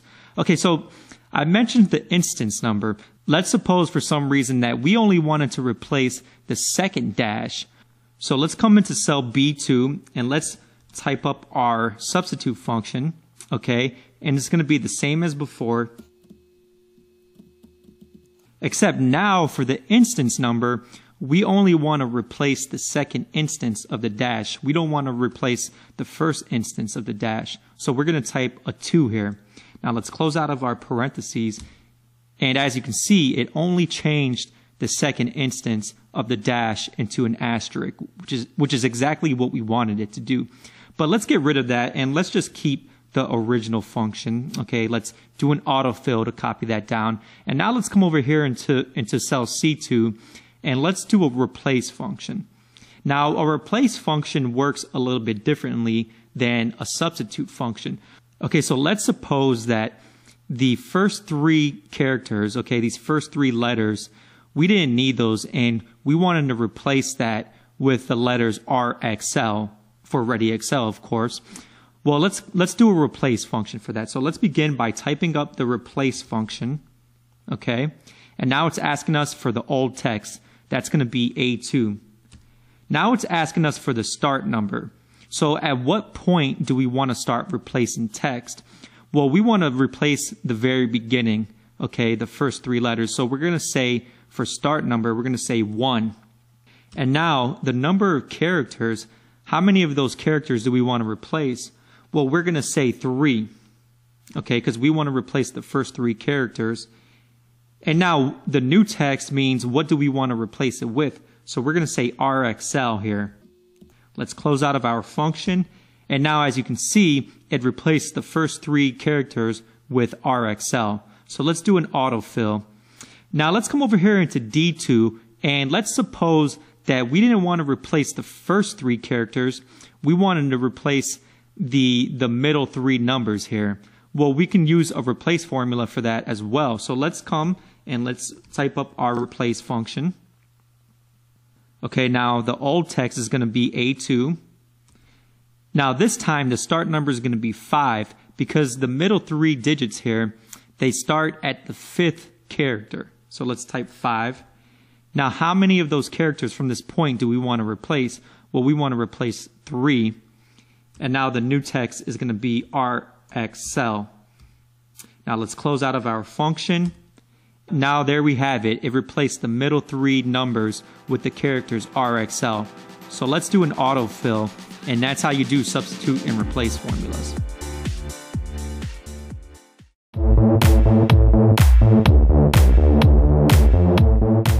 Okay, so in this video, I'm going to go over three very simple functions, the upper, lower, and proper functions. So in cell A2, we have some text here, and let's suppose that we want all of this text to be uppercase. Well, we can do that by using the upper function. So let's come over here into B2 and let's type up upper, and now the function pops up. Let's click on it, and now it's asking for the text. Well, that's going to be cell A2.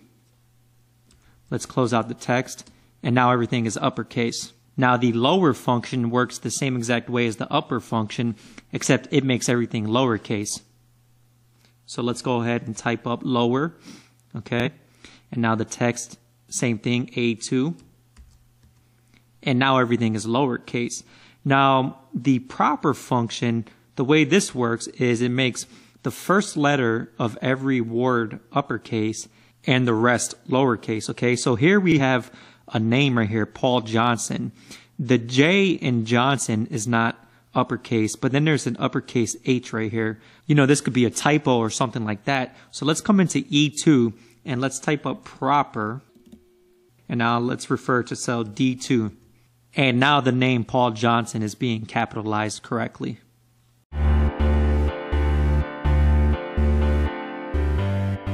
So now we're going to take everything that we just learned in this section and use it in order to clean up a large set of data. Let's take a look at the NFL Weekly Data Worksheet in the Altogether file. So you may remember this data set from the filter video, but there's a couple of things that are wrong with this data. First of all, the player's name is in an incorrect format. It has it with the, the player's last name first, followed by a comma, followed by his first name and we'll need to change that into a normal format. Second of all, the team and opponent, those, those abbreviations for the different teams are all lowercase, but we need it to be uppercase. And lastly, the date is in this weird format that I talked about earlier, and it's actually not a, a recognized date by Microsoft Excel. So I'll show you how to get that into a recognizable date format. So first of all, let's copy these headers directly to the right of this data set. Now I already did that and I have it hidden here, so let me unhide that. So in cell I2, we want the player's full name. However, if you look in cell A2, okay, you'll see that it's currently in the format last name, comma, first name. But we want it to be in the format first name, space, last name, followed by any suffixes. Like for instance, this guy is the second. So that suffix will also go on the end. Well, in order to do that, we're going to need to use some of the formulas that we just learned. So the first thing that we're going to need to do is we're going to need to extract just the first name. Well, in order to extract just the first name, we're going to have to use a mid function. So let's begin by typing the function. Now it's asking for the text. So the text is going to be A2. Now it's asking for the start number. Well, for the start number, we want to find the comma, okay? So let's do a find function. So now it's asking what text does it want us to find? Well, we want to find the comma. And we can even put a space in there too because there's always a space after the comma. It doesn't make a difference. Okay, now it's asking within what text. So that's going to be cell A2. Okay, and now we close out the function. That's the start number as to where the comma starts. But the actual first name isn't going to start until two characters after that because you got you have a comma and then a space. So we need to add two to this. Okay, and now it's finally asking us number of characters. Well, for this, we could just put like a hundred. Okay, that way we we make sure that it covers enough to cover the person's full name. And let's close out of the mid function. And if I did this correctly, we should have successfully extracted the player's first name. And we did. You can see Patrick. But we're not done. We still need to extract the player's last name. So let's come back into I2 and let's do a concatenation by using the ampersand, which we learned about earlier. So now we want to extract the last name. Well, how are we going to do that? We're going to extract all the text that's left of the comma. So let's do a left function. Okay, now the text is going to be A2, and the number of characters, we're going to use the find function for that. Now it's asking what text do we want to find? Well, we want to find the comma and the space. Doesn't make a difference. Within what text? Well, within A2. Okay, and then that last argument is optional. So we could close out the find function. And now we want to subtract one from this because if we don't, then it's going to include the comma. And let's close out the function. And if I did this correctly, it should be showing the player's first name and last name. And it did, but we're going to also have to add a space, okay, between the first name and the last name. So let's come right over here to after the first name. Let's add another ampersand and let's put a, a space within quotations. And let's hit enter. And now we have the first name followed by the last name. Now for the position, we don't have to do anything to that. So let's just reference cell B2 with a simple formula. But for the team and opponent, we said that we wanted that to be uppercase. So let's use the upper formula. Okay, and now the text we're referring to is cell C2. And let's close out the function. Now I want to show you something. We can use the autofill to drag this over to the right. And since we're using a relative cell reference, which we learned about in a previous section, Excel knew to reference the cell that's one column to the right. Now for the home, salary, and points per game cells, we don't need to do anything for them. So we could just reference those cells directly.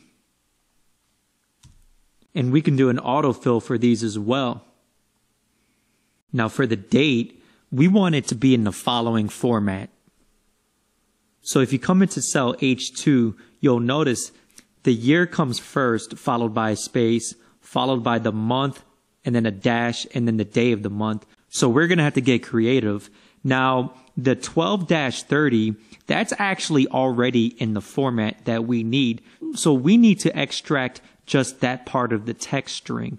Well, how can we do that? we know that that part of the text string always comes after the space. So let's come over here into cell P2 and let's initiate a mid function.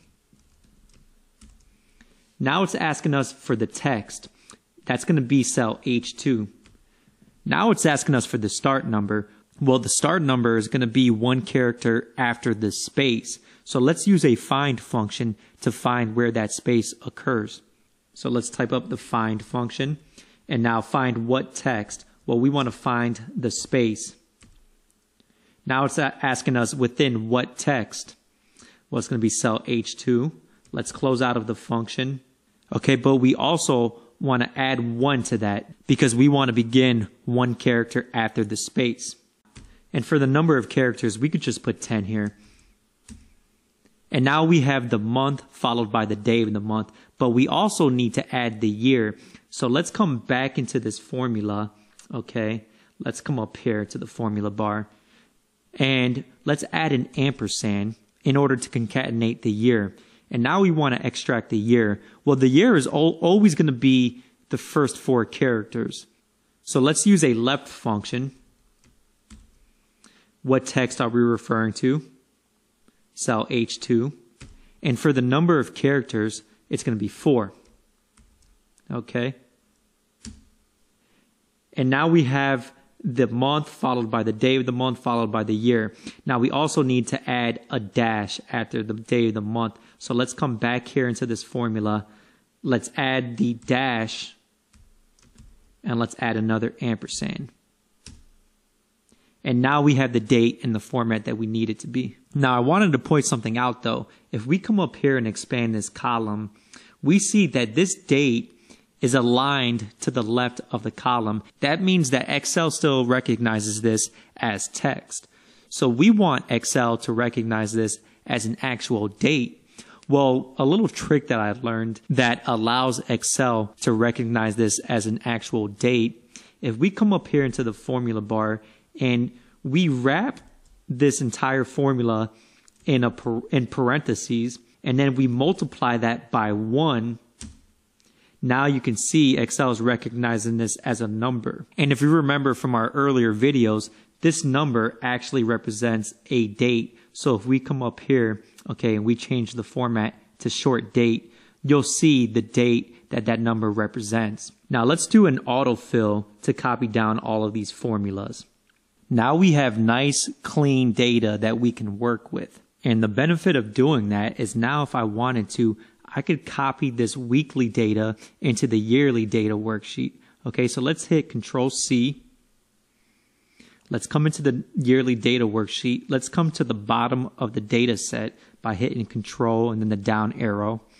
Okay, let's go down one more cell and let's do a paste special values here. Okay.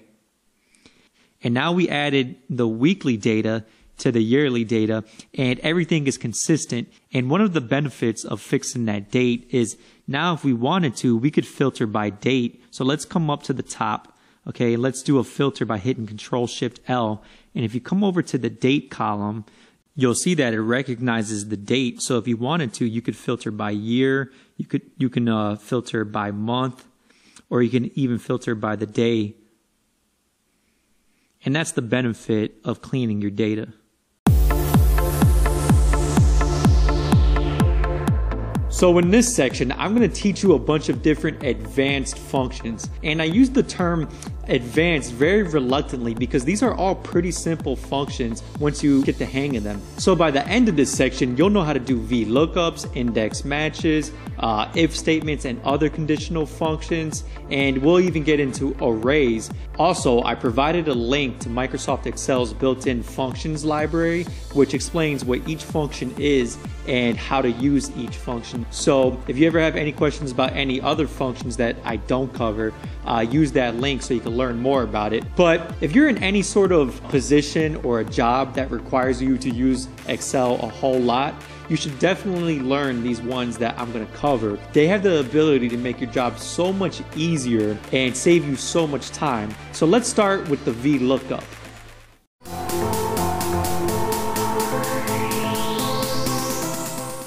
Okay, so right now we're looking at a bunch of different sales transactions. This is in the invoice worksheet in the file named VLOOKUP, okay? So in column A, we have the transaction number. That's just basically a transaction ID. In column B, we have the SKU. A SKU um, is, is sort of like a product ID.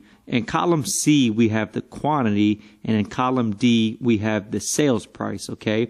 And in column E, we have the total price, and that's just the quantity times the sales price, okay?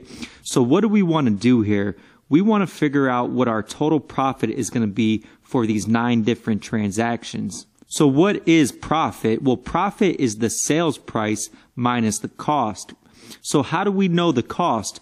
Well, in this worksheet called inventory, here we have a list of all of the different products along with the quantity on hand and the average cost. So the cost is actually here in this table in, in column C. So if we come back into our invoice worksheet and then we look at B2 here and we, we find this SKU, this LAC-914 on, on, on our inventory list, LAC 914, we see that the price is 786. So we can copy this into our invoice worksheet right here in column G under cost per unit.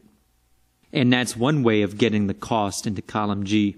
But there's got to be a smarter way, and there is the VLOOKUP function. The VLOOKUP function looks for a value in the leftmost column of a table and then returns a value in the same row from a column you specify.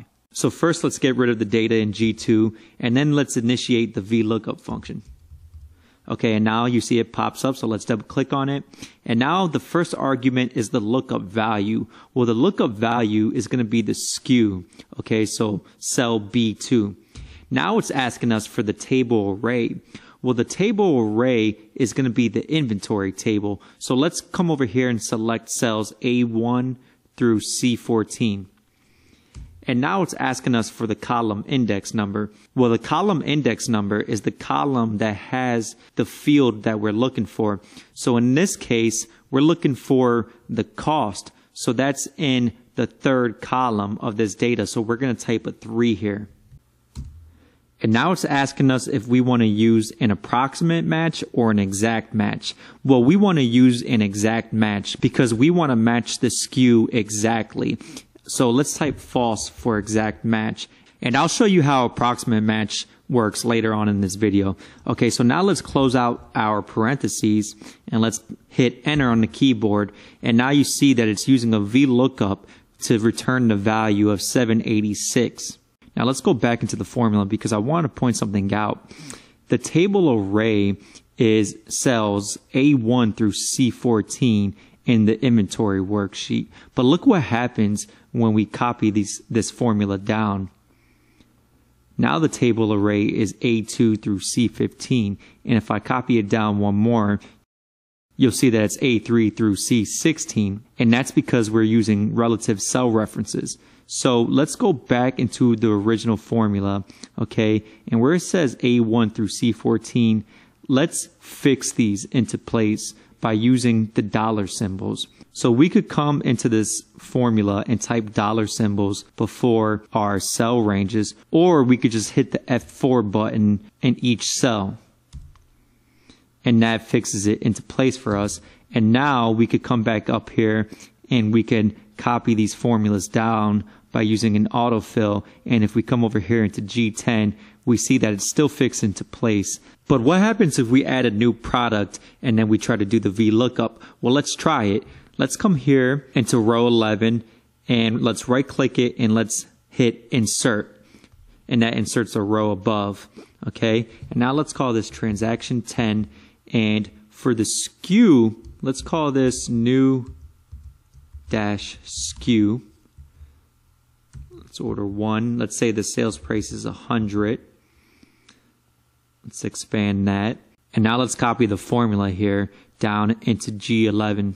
And as you can see, it's showing up as hashtag NA. This means that it can't find the SKU on the inventory list. Well, that's because it's not on there. So let's add it.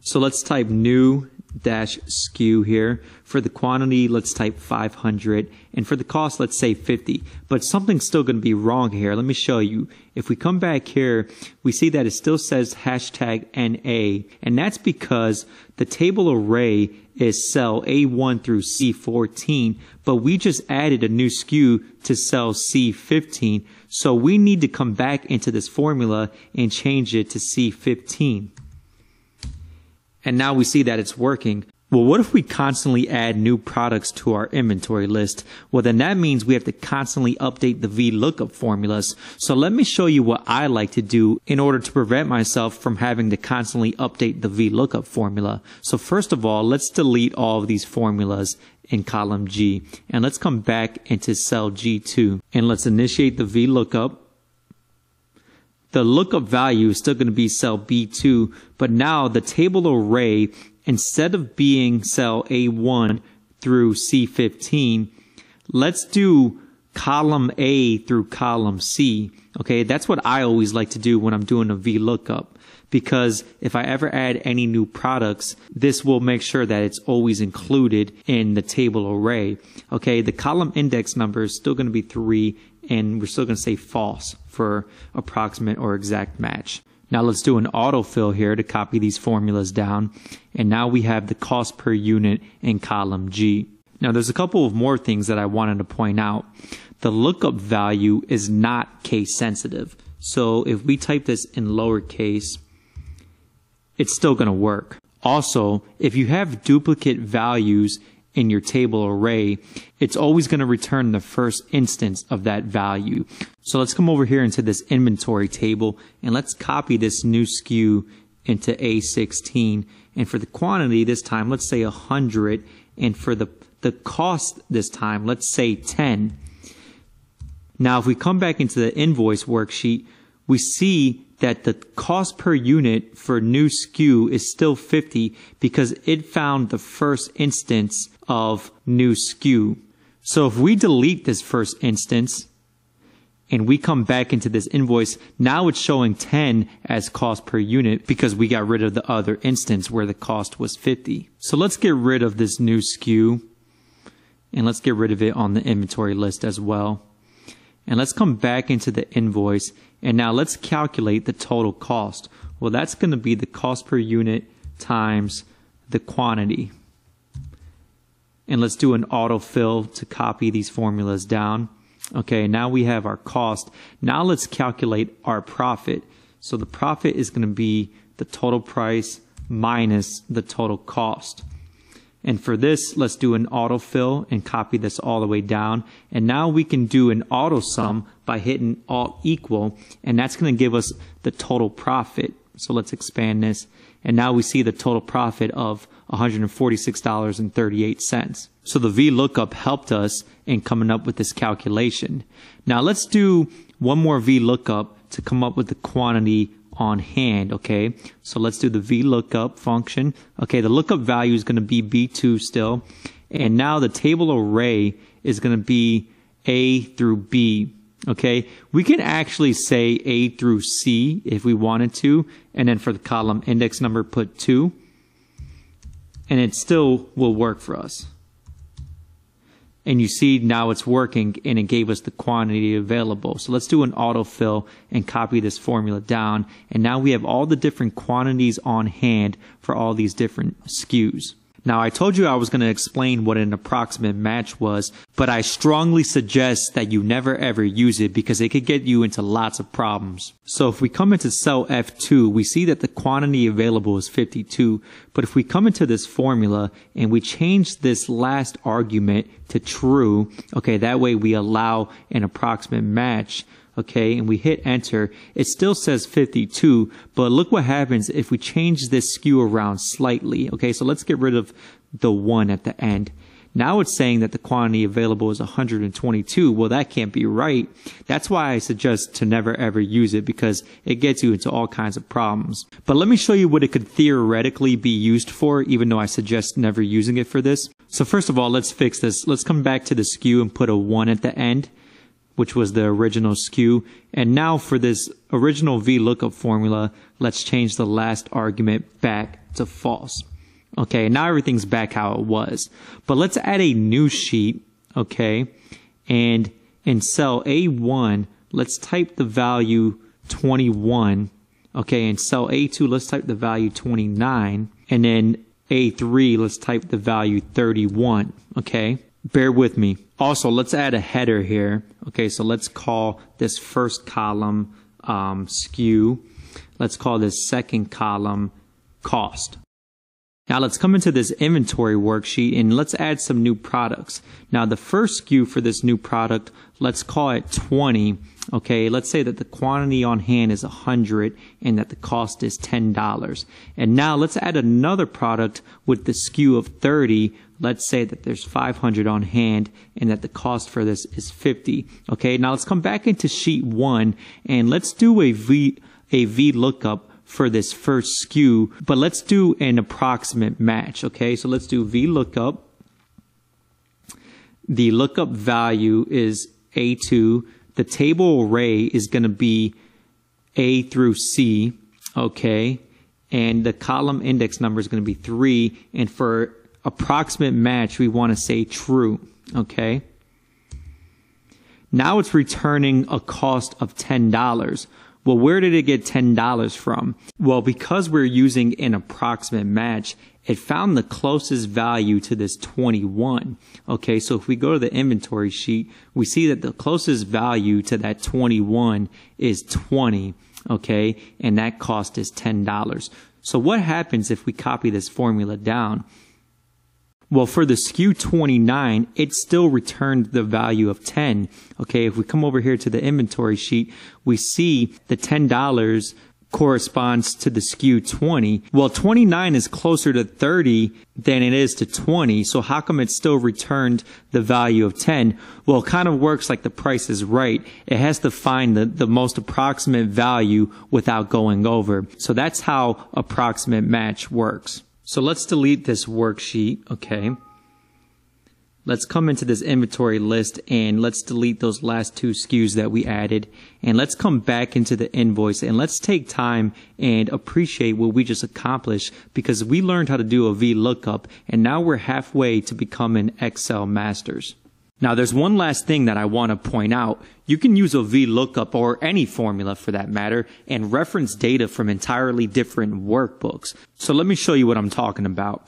I have a file here called inventory and this is basically the same exact inventory list except it's in its own workbook. So if I come back into my VLOOKUP formula here in cell F2, I can replace this table array with a new table array that's referencing the new workbook that I have open.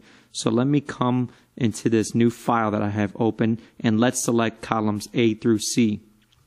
And now if I hit enter, you see that now it's referencing the inventory.xlsx workbook, okay? And if I copy this formula down, by using an autofill, now they're all referencing the uh, new workbook. Now, if I close this workbook, now you see that it's referencing the actual path that this workbook is located. Now, one last thing. Let's remember this SKU here, LAC-914. And let's remember that the quantity available is 52. Okay.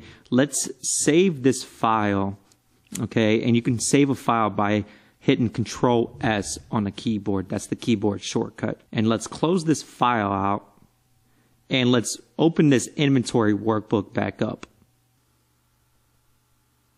Now let's come to this uh, SKU that says LAC-914 and let's change the 52. Let's change that to 1000.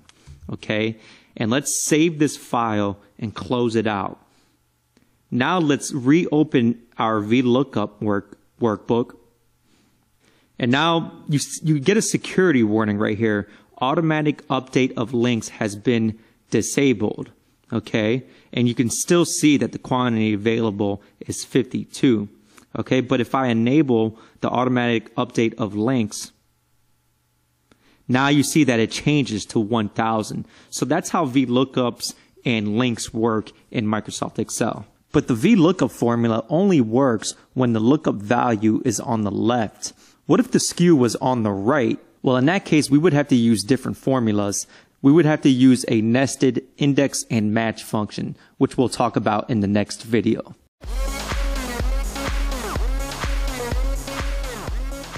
So let's talk about the index and match functions. So in the index match workbook, we have pretty much the same exact data as the VLOOKUP workbook. But the only difference is if you come over here into the inventory worksheet, you'll see that the SKU is on the right. And I did that on purpose because I wanted to show you how you can use a nested function using the index and match functions in order to look up the quantity available and the average cost. Okay, so let's come back into the sales worksheet and let's come into cell F2 So we want to find the quantity available for this SKU right here, LAC-914-351. Okay, so we're going to do that by using an index formula. So let's begin by typing the index formula. Okay, let's double click on this. And now it's asking us for the array. The array is the range of cells that contains the value that you're looking for. So that's going to be A1 through A14. And now let's type comma. And now it's asking us for the row number. Well, the row number is going to be 9 because that's where this LAC-914 SKU is located. So let's type 9 here. And then let's close out of this function. And now we see that the quantity available for this SKU is 52. Now I wanted to point something out. For the array, we chose cells A1 through A14.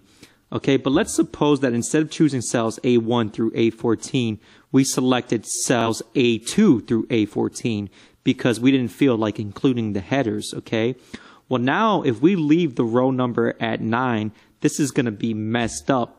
Okay, now it's showing 582. Well, what is 582? Well, that's row 10. This is because when we chose 9 as the row number, 9 is referring to the row in relative terms, not in absolute terms. So we would need to change that to 8 if we're not including cell A1. So let's come back into the formula and let's change this 9 to an 8.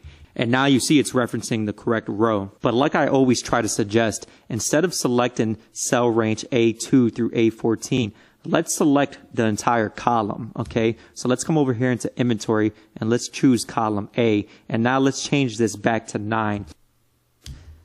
And now we get the correct quantity available. Now I know what you're thinking. If we had to manually type row 9 in this formula, then what the hell is the whole point of even using this formula? Well, that's where the match formula comes into play. So let me show you the match formula on its own. So let's delete this existing index formula and let's begin by typing the match function. Okay. And now it pops up and now it's asking us for the lookup value. Well, the lookup value is going to be B2, the SKU. And now it's asking us for the lookup array. So let's come over here into inventory and let's choose C because this, this is the array that contains the lookup value that we're looking for. And again, I like to choose the entire column. And now it's asking us for the match type. We learned about exact matches and approximate matches in the VLOOKUP video, but for this, we want to use an exact match. So let's type zero. Okay, and now let's close the um, parentheses, and now we see 9. So the match function provides us with the row that contains the SKU that we're looking for. Okay, in this case, it's row 9. So we can use this match function within our index function in order to come up with the quantity available. So let's go ahead and let's type up the index function. And now for the array, let's come back to inventory and let's choose column A because we want to get the quantity available. And now for the row number, that's where we're going to use the match function because that returned the row number for us. So we can leave that as it is. And now let's close out of the index function. And now we get the quantity available, 52. And if we do an autofill and copy this formula down, now we have the quantity available for all these different SKUs. Now let's do one more index match to get the cost per unit. So let's come over here and let's begin by typing index. And now it's asking us for the array. Well, this time the array is going to be column B because we want to get the cost. Now for the row number, we can use the match function. Now it's asking us for the lookup value. So let's come back into the sales worksheet and let's choose B2 for the lookup value.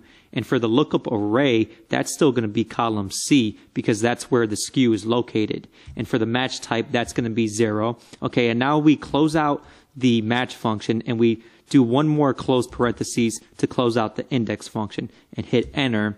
And now we got the cost per unit, 786. And let's just confirm that this is correct.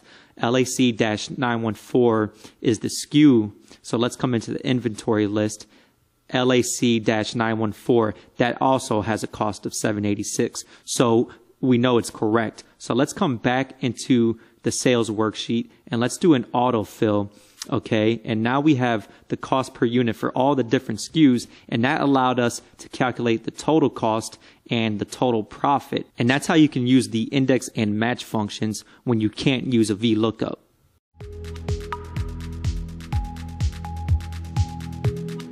So in this video, I'm going to talk about the if function. The if function checks whether a condition is met or not, and it returns one value if the condition has been met, and it returns a different value if the condition has not been met. So here we have a worksheet called sales. This is in the if functions workbook. And in this worksheet, we have a bunch of different sales transactions, similar to the previous example. And what we want to do in this particular example is we want to make sure that we have enough quantity on hand for each of these SKUs, okay, in order to fulfill these purchases. So let me show you what I mean. For this first transaction, we have an order for 389 units. This is for EW-8624. But if you come over here into the inventory work worksheet, we see that for this SKU EW8628, we only have 259, so we don't have enough to fulfill this order. And we want to use an if statement in order to figure out if we have enough quantity on hand in order to fulfill all of these purchases. So first of all, let's do a VLOOKUP here in order to determine what our quantity available is for each of these different SKUs. Okay, so the, the lookup value is going to be the SKU, so B2. The table array is going to be columns A through C. And then the column index number is going to be 2 because we want to grab that second column there, the quantity available. And now we want to do an exact match. So let's type false. And now we have the quantity available for this first SKU. So let's do some autofill here and get the quantity for the rest of these SKUs. Now, in one of the earlier videos, I mentioned booleans and I explained that there's three different cell types. There's text, numbers, and booleans. Well, I'm going to show you what a boolean is right now, okay? So let's come over here to column F and let's insert a column uh, before that, okay? And let's call this column boolean. Okay, now what is a boolean? A boolean is a binary variable with two possible values, true and false. So we want to find out if the quantity available is greater than or equal to the purchase quantity. Well, let's come over here into cell F2 and let's type the following formula equals E2 greater than or equal to C2. So we're saying is the quantity available greater than or equal to the purchase quantity. So when we hit enter, we see that it's showing up as false. So now we have a boolean in cell F2 and the value for this particular one is false. Now if we do an autofill and copy these formulas down, we see a couple of other false uh, values and that's basically saying that the quantity available is less than the purchase quantity. So if we go back into this formula, we'll see this greater than or equal to symbol, and this represents a logical operator. So let me explain to you all of the different types of logical operators. The first and most obvious logical operator is the equal to symbol. Then you have the greater than symbol. Next you have the less than symbol. Then you have the greater than or equal to symbol, which is the one that we used in our formula. And then you have less than or equal to. And last but not least, you have the not equal to logical operator, which is represented by a less than symbol followed by a greater than symbol. So going back to our example, it's checking to see if E2 is greater than or equal to C2. So if E2 is greater than or equal to C2, then it returns the value of true. If it's not, then it returns the value of false. So we can use this boolean in our if function. And let me show you how. So let's come over here into G2 and let's type up our if function. And now you see it pops up. And now it's asking us for the logical test. Well, the logical test is going to be F2. So it's seeing if F2 is true or false. And now let's hit a comma. Now it's saying if the value is true, then what do we want to do? Well, in this case, we want to calculate the total sales price, which is the quantity times the sales price. And now let's hit comma. And now it's asking us what we want to do if the value is false. Well, if the value is false, we want to display the text not enough in stock.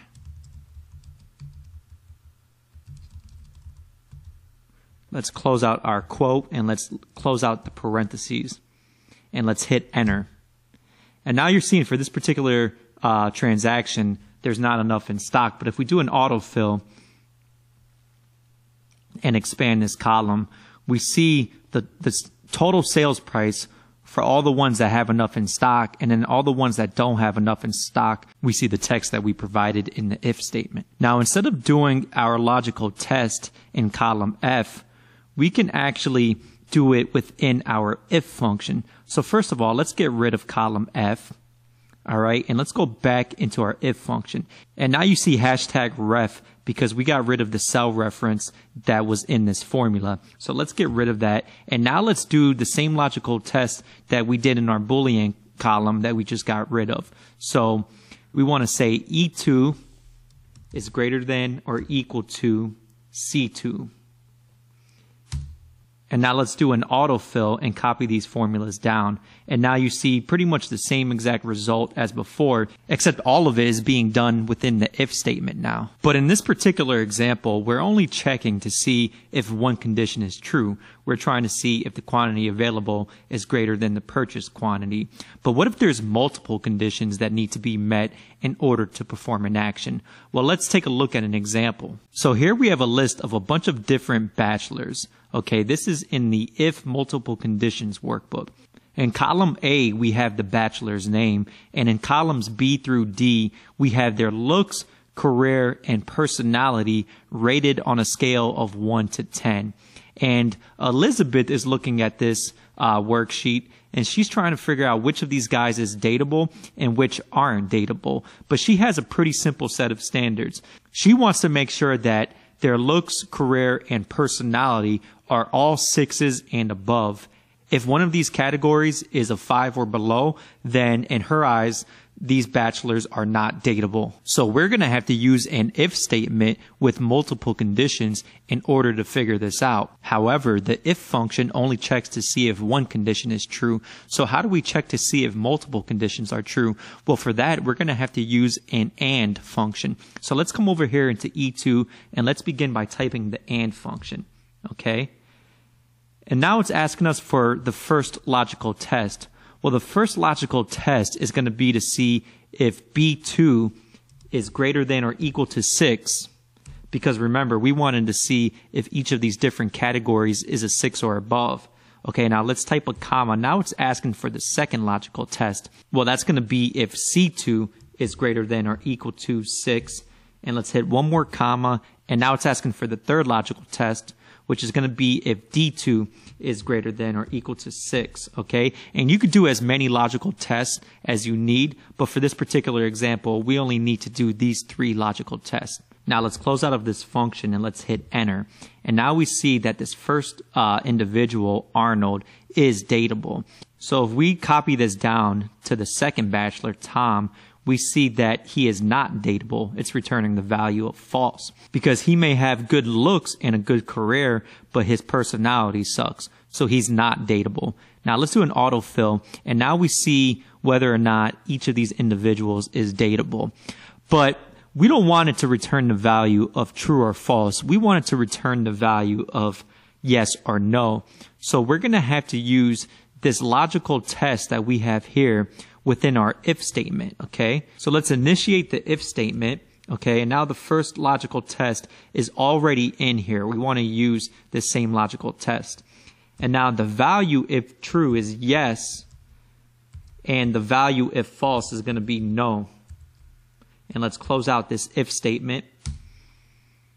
And now let's do an autofill and have these copy all the way down. And now we could see who's dateable and who's not dateable. And it's showing up as either yes or no, which is exactly what we wanted. Now let's suppose that Elizabeth is a little bit shallow and she's willing to make an exception on the career and personality if their looks are a 10, okay? Well, it's going to look a little something like this. Each of these men will be dateable if their looks, career, and personality are all sixes and above, or, keyword or, their looks are a 10. So we're going to have to use the OR function for this. So let's come over here into cell F2 and let's begin typing the OR function, okay? And now it's asking us for the first logical test, okay? So that's going to be if the looks, so B2 equals 10, okay? Because we said if their looks are a 10, then nothing else matters, okay? And then the second logical test, that's going to be where we add the AND function. So we want to say B2 is greater than or equal to 6, comma, C2 is greater than equal to 6, comma, and D2 is greater than equal to 6. And let's close out the, the AND function, and now we need to cl close out the original OR function. Let's hit enter, and now we see true because one of those conditions was met. But if you look at Tom, originally we determined that he was not dateable, but with this new logic, he should be dateable because his looks were 10, and now you see that it returns the value of true. But we don't want this showing up as true or false in column F. We want this in the original if formula in column E. So let's get rid of all of the data in F, okay? And let's come over here to E2 and let's change this formula around. So right before the AND, we're going to put the OR. And the first logical test is going to be if the looks are a 10. So let's say B2 equals 10. And let's type a comma. Now the second logical test we already have in there, which is checking to see if each category is a 6 or above, okay? So let's come to the end of the AND statement. And now we need to end the OR statement that we just began. And now let's hit enter Okay. And let's do an autofill. And now you see which guys are dateable with the new criteria. And as you can expect, Tom is now dateable because his looks are a 10, even though his personality is a 2. And that's how you do if statements with more than one condition. But in this example, there's only two possible values, yes or no. But what if there was more than two possible values? What if there was three or maybe even four? Well, in that case, you're going to have to use a nested if function. So let's take a look at the file called nested if. And let's take a look at column A. In column A, we have a bunch of different light colors. And in column B, we want to determine the action depending on the light color. Well, we know for red, we're going to have to stop. For yellow, we're going to have to slow down. And for green, that means go. So let's begin by opening the if statement. And now for the first logical test, let's say A2 equals red.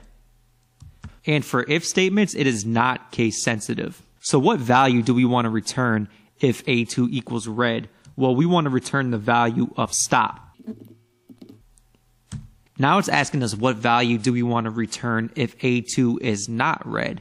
Well, we don't know because we still need to check if it's yellow or green. So now we need to do another if function. And now for this logical test, we can say A2 equals green. So if A2 equals green, now if that's true, we want to return the value of go. And if this is not true, then there's only one other action, and that's going to be to slow down. So let's close out the second if function, and now we need to close out the original if function, and let's hit enter. Okay, so we see for red, it says to stop. So let's do an autofill. Okay, and now we see for yellow, it says to slow down. For green, it says to go. So we know this is working right. And that's how you do a nested if function.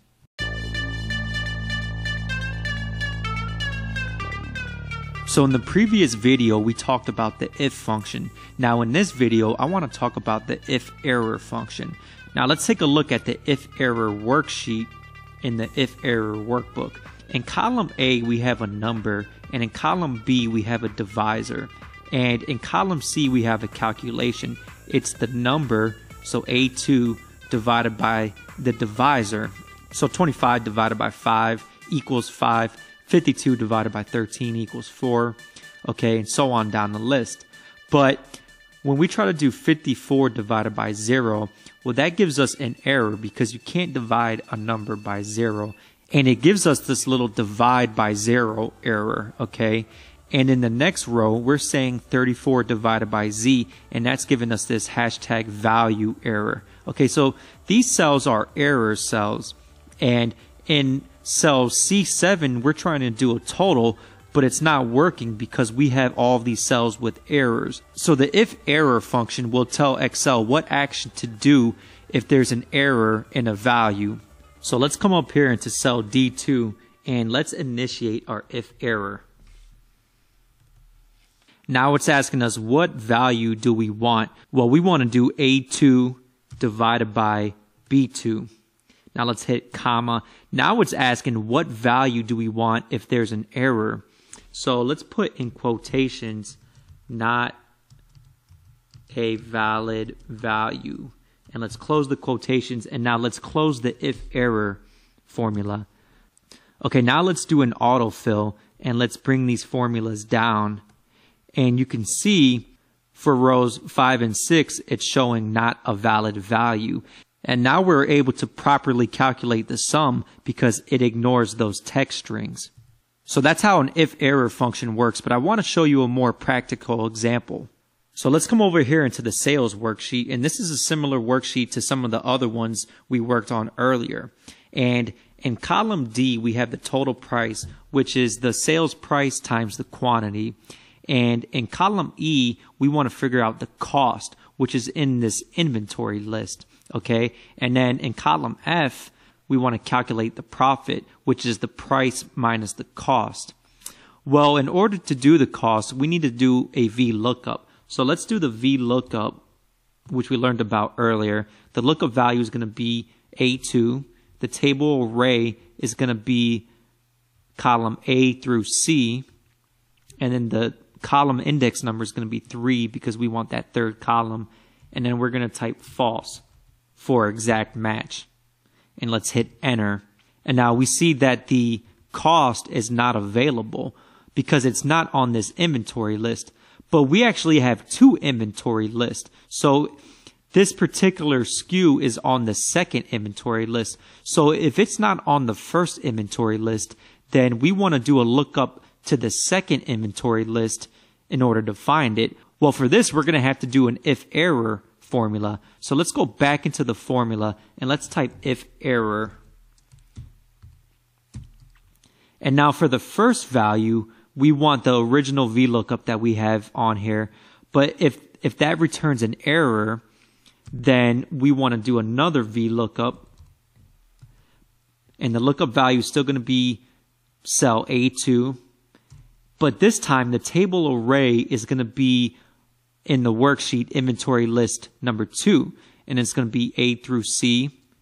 And then the column index number is still going to be three, and then we're still going to say false.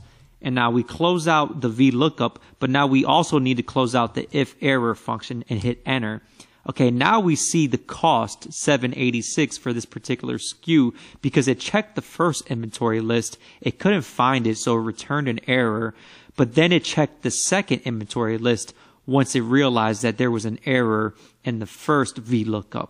So let's do an autofill and copy these formulas down. And now we have all of our cost and we were able to calculate the profit.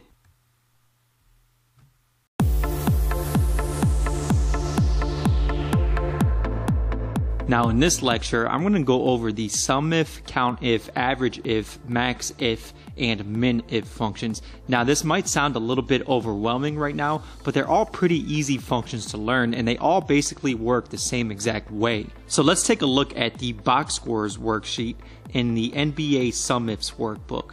So in columns A through F, we have a bunch of data related to NBA box scores. So basically it has every single player's fantasy points for every game during the 2018 slash 2019 season. So in column A, we have the date. In column B, we have the player's name. In column C, we have the player's position. In column D, we have the team that the player plays for. In column E, we have the opponents, so the team that the player went up against on that evening. And then in column F, we have their fantasy points for that specific game. So let's put a filter on this data by hitting Control Shift L. Okay, and let's go to the player, so column B, and let's search for Stephen Curry. And let's filter for Stephen Curry, and now we see all of his games during the NBA season. Now let's suppose that we wanted to see what Stephen Curry's total fantasy points were, so everything in column F for the 2018-2019 season. Well, let's come here to cell F3 and let's go down to the bottom of this range. So let's hit Control Shift and the down arrow. And now we have all of these cells selected. And if you look here at the bottom right hand corner, you'll see that the total, so the sum of all of his uh, fantasy points is 3026.4. You also see that there's a count and the count is 68. That means there was 68 games that he played in during the season. And then the average is 44.5. Okay, so let's go back up to the top of this range and let's turn off the filter. Now, there's another way to calculate Stephen Curry's total fantasy points without having to put a filter on, and that's the sum if formula. So let's come over here into cell I2 and let's initiate the sum if formula. So we want to choose this first one, sum if. Now it's asking us for the range. Well, the range is going to be the range of cells that contain the player's name because we want to find Steph Curry. So let's choose column B as the range. And like I said, I like selecting columns rather than selecting cell ranges. And now it's asking us for the criteria. Well, the criteria is going to be the name of the player. So in this case, the criteria is going to be cell I2, because we have the player's name here. And now the sum range is going to be column F because that's where all of his fantasy points were. So let's close out this function. And if I did this correctly, it should return that same total as before, the 3026, I believe. And it did. Now remember, in our formula, the criteria is referring to cell I2 here. So if I wanted to, I can change the player's name. So let's type LeBron James here. And now you see that the total points changes to reflect this. So remember this number here, 2,924.5. So let's go into column B and let's put a filter on for LeBron James. Just to check and make sure we got it right. And if we select all of these cells here, we see that the total is 2,924.5. So we know that it's working correctly. Now remember this number right here, the count, 56. Now let's go back to the top of this data. Let's turn off the filter and let's come into cell I4 here. So in this cell, we want to figure out how many games LeBron James played. Well, we can use a count if formula in order to determine this. So let's initiate the count if formula. And now it's asking for the range. Well, the range is going to be the range that has the player's name. So it's going to be column B. And now the criteria is going to be the player's name, which is right here in cell I2. Now let's close out the parentheses. And if I did this correctly, it should show 56, which we determined was the count. And it did show 56, so we know that this is working correctly. Now, if we wanted to calculate LeBron James average, we can use a simple division formula here.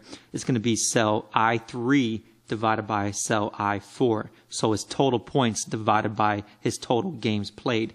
And now we see his average is 52.2.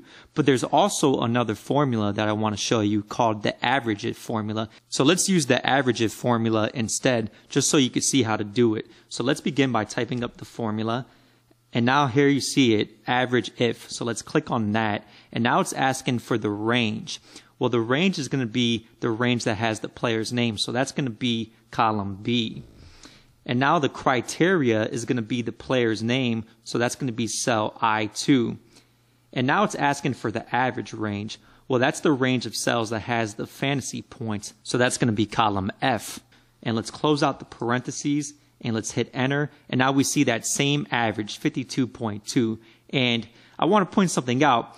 The average if formula pretty much works the same exact way as the sum if formula. So if you look at the average if formula, the range is column B, the criteria is cell I2, and then the average range is column F. And if we come into cell I3 and we look at the sum if formula, we see the same exact parameters for this formula. The range is column B, the criteria is cell I2, and the sum range is column F. Okay, so when I said earlier in this video that they all pretty much work the same exact way, that's what I meant. The only difference is the function name. Now let's not worry about the best game and worst game yet. We'll look at that later. But let's suppose that we had more than just one criteria because in this example, we only had one criteria and that was the player's name. But what if we had more than one criteria? So let's come into cell I10 here and what if we wanted to figure out what Stephen Curry's total was against the Clippers? That's what the abbreviation LAC stands for. Well, now we have two different sets of criteria. We have the player's name and we have the opponent that he went up against. So now instead of using the sum if function, we're going to have to use the sum ifs function. So let's begin by typing the sum ifs function. Okay, and now let's choose it from this list. We don't want to choose the sum if function. We want to choose the sum ifs. And now it's pretty much the same as before, except the parameters are in a different order. The first thing that it's asking for is the sum range. So that's going to be the range of cells that have the, the fantasy points. So if you remember from before, that was column F. Now it's asking us for criteria range 1, Okay, so that's going to be column B because that's where the player's name was. And now it's asking us for the first criteria, that's going to be the player's name. Now it's asking us for criteria range number two. Well, that's going to be the opponent, so column E. And then the criteria number two is going to be cell I12, or I'm sorry, I11 here.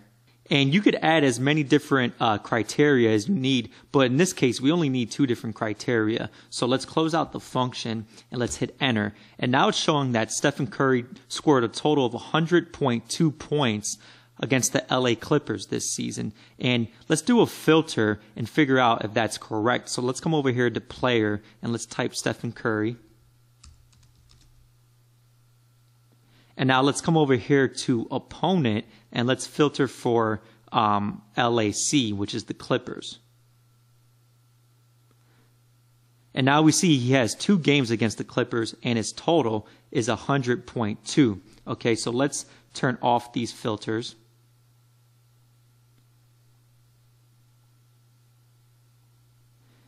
And let's come into cell uh, I13 here. And now we want to figure out the games played. Well, that's going to be the same as before, except we're going to use the count ifs formula. Okay, now it's asking us for criteria range number one. Well, that's going to be the range of cells with the player's name. And now it's asking us for criteria one. That's going to be the player's name. And now it's asking us for criteria range number two. That's going to be column E, where it has the opponent's teams. And now let's hit comma. And now it's asking us for criteria number two, and that's going to be cell I11 over here. Now let's close out the parentheses. And if this worked correctly, it should say two because he played two games against the LA Clippers. And it is showing two, so that's working fine. Now we want to figure out the average fantasy points for Stephen Curry. And same as before, we could do a calculation and take this 100.2 and divide it by 2, or we can use the average ifs formula. So let's use the average ifs formula. Now it's asking for the average range. Well, that's going to be column F still. The criteria range number one is going to be column B. The criteria number one is going to be cell um, I10 here. And now criteria range number two is going to be the opponent. And then cri- the criteria number two is going to be cell I11 over here. And let's close out this function and hit enter. And now we see the average of 50.1. Now let's come back into cell I6 over here and we want to figure out what LeBron James's best game was for the season. Well, we're going to have to use a max if formula, except there is no max if formula. For some reason, there's only a max ifs formula. So the ones with multiple criteria, but we don't have to use more than one criteria, even if you're using a max ifs formula. So let's type it up and now you see it pops up. And now it's asking for the max range. Well, that's going to be column F. Okay. And now it's asking for criteria range number one. So that's going to be column B. And then criteria number one is going to be LeBron James. Now let's close out the parentheses. And that's the only criteria we have for this example. So let's hit enter. And now we see LeBron James' best game. He scored 77.5 fantasy points. Now we can use a min ifs formula to figure out his worst game. And again, there's no min if formula. There's only min ifs. Okay. So let's initiate this formula, and now let's choose column F for the min range. For the criteria range, let's choose column B, and then for the criteria, let's choose LeBron James. Okay, so the same as the max ifs formula, it's just a different function name. Now let's close out this function and hit enter. And now we see that LeBron James's worst game, he scored 23.7 fantasy points. Now let's do a max ifs formula with multiple criteria. So let's come down here into cell I-15 and let's do a max ifs formula to figure out what Steph Curry's best game was against the LA Clippers, okay? So now the max range is still going to be column F. Criteria range number one is going to be column B. And criteria one is going to be the player's name, so Stephen Curry. And now criteria range number two, that's going to be the opponent, so column E. And then the criteria number two is going to be cell I11 over here. Now let's close out this function and hit enter. And now we see that his best game against the Clippers, he scored 55.2 fantasy points. So now let's do a min ifs to figure out what his worst game was against the Clippers. So the min range is going to be column F. The criteria range number one is going to be column B. Criteria number one is going to be the player's name, so cell I10. Criteria range number two is going to be the opponent, so column E. And then criteria two is going to be cell I11 over here, the opponent. Now let's close out this function. And now we see that his worst game against the Clippers, he scored 45 points. Now let's suppose we want to figure out how many fantasy points Steph Curry scored during a specific time period. Well, we're going to have to get pretty creative with our sum ifs formula. So first of all, let's freeze this top row here. Let me show you how to do that. Let's go to view. And then over here where it says freeze panes, click on freeze top row. And now if you scroll down, the top row is still going to be fixed, okay? And let's come over here into cell I-22. And now we want to figure out what Stephen Curry's total was for the month of March. So we have a begin date here in cell I-20 and we have an end date here in cell I-21. So in order to do that, we're going to have to use the sum ifs formula. So let's initiate this formula. And now the sum range is still going to be column F Criteria range number one is still going to be column B, and criteria number one is going to be the player's name, so cell I-19. And now criteria range number two, that's going to be the date column, so column A. And now criteria two, that's going to be where we do something a little bit different. So in quotations, we want to put a greater than or equal to symbol.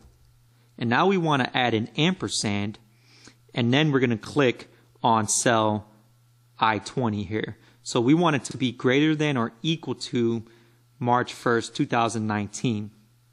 And then criteria range number three, that's also going to be the date column, so column A. And the criteria for this one, it's going to be similar. It's going to be less than or equal to, close out the uh, less than or equal to symbol. And now do an ampersand and let's click on cell I-21 over here, which is the end date. Now let's close out the function and let's see what happens. Now it's showing that his total points for the month of March is 622.1. So let's put a filter on Steph Curry to see if this, this is working correctly. So let's come over here to player and let's search for Steph Curry. Okay, let's choose Stephen Curry. And now for the date, we can filter by a month. So let's choose the month of March here. And let's take the total for all these cells and voila, 622.1. So that's working correctly. So let's take off these filters. And now we want to do a count ifs to figure out how many games he played in the month of March. So let's initiate the count ifs formula. And now criteria range number one is going to be column B. Criteria one is going to be the player's name. So cell I-19. Criteria range number two, that's going to be the date column. Criteria number two, that's going to be greater than or equal to, in quotes, followed by the ampersand, and then let's click on the begin date, so cell I-20. And now criteria range number three, that's going to be the date column. And then criteria number three, that's going to be less than or equal to, in quotations, followed by the ampersand, followed by cell I-21, which is the end date. So March 31st, 2019. Now let's close out this function. And now we see that the games played for Steph Curry for the month of March was 14. But let's do another filter just to confirm that that's correct.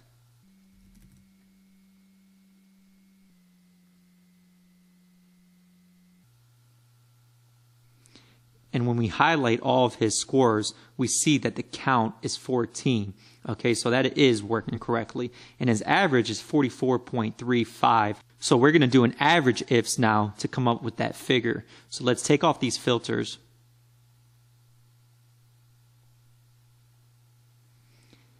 And let's come over here into cell I-24 and let's initiate our average ifs formula. So now the average range is going to be column F. Criteria range number one is going to be column B. Criteria number one is going to be the player's name, same as before. Criteria range number two, that's going to be the date column.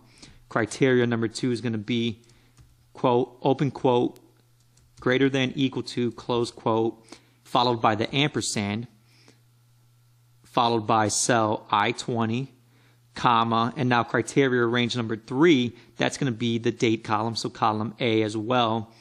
And then criteria number three, that's going to be open quote, less than or equal to the end date. So let's put in an ampersand and let's choose the end date, which is cell I-21. Now let's close out this function. And now we see that average that we talked about, 44.4. Okay, now let's see what Steph Curry's best game was during the month of March. So we're going to use a max ifs formula. But instead of doing the formula all over again, let's go over here into this formula that we already typed with the average ifs formula. Let's copy this text here and let's come here into cell I-25 and let's paste the text, but let's change the formula name to max ifs. And now we see that Stephen Curry's best game during that time period, he scored 58.5 fantasy points. Now let's come back into this. Let's copy this formula and let's come over here into cell I-26. And now we want to figure out his worst game during this time period. So let's paste that text that we just copied and let's change this to say min ifs. And now we see that his worst game during that time period, he scored 24.4 fantasy points. And let's do one more filter just to make sure we did that correctly.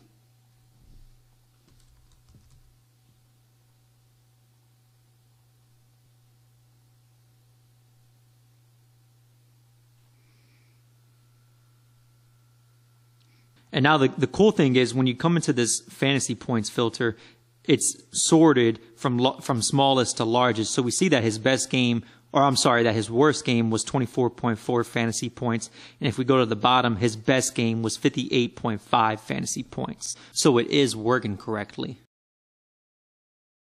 Okay, so let's take off these filters. And now if we wanted to, we could change this to LeBron James. And now we could see what his average was during the month of March. He averaged 52.5 fantasy points. He played a total of 12 games. His total points was 630.7.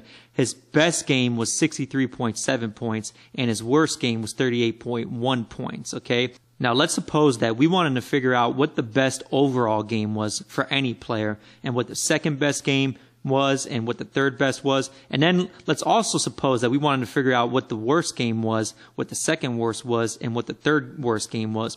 Well, for this, we're going to have to use these small and large functions, which I'm going to talk about in the next video.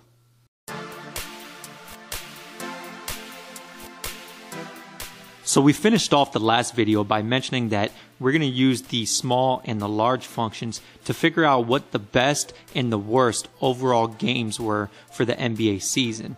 So if we come up here to the filter for column F, which is the fantasy points column, and we unselect all, and we come all the way to the bottom and select these bottom three scores, which are the highest three scores on this list, we can see that the best game was a 95 point game by James Harden against the Knicks.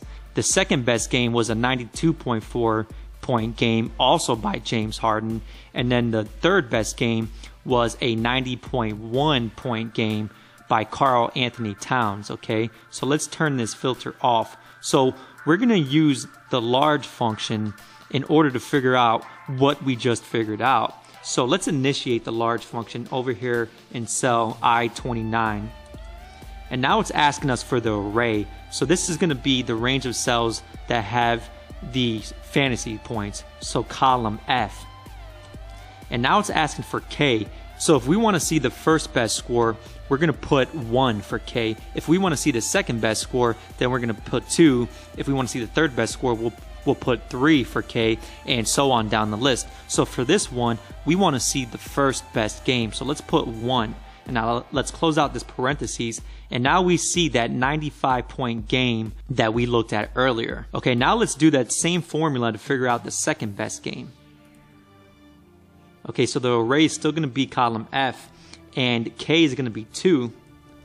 And we see that 92.4 point game. And if we do one more uh, large function, we could figure out the third best overall game. And that's that 90.1 point game. Now for the for the worst game, we're going to use this the small function, which works the same exact way as the large function, just the other way around. So the array is still going to be column F, and then K is going to be 1. And that shows us minus 3. And now the second worst game, let's initiate the small function. The array is still going to be column F, and K is going to be 2 because we want to see the second worst game. And that's still negative 3.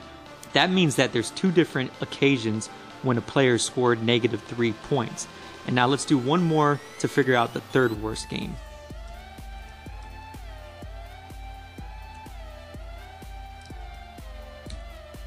And now we see negative 2, which means the third worst game was a game where someone scored minus 2 points.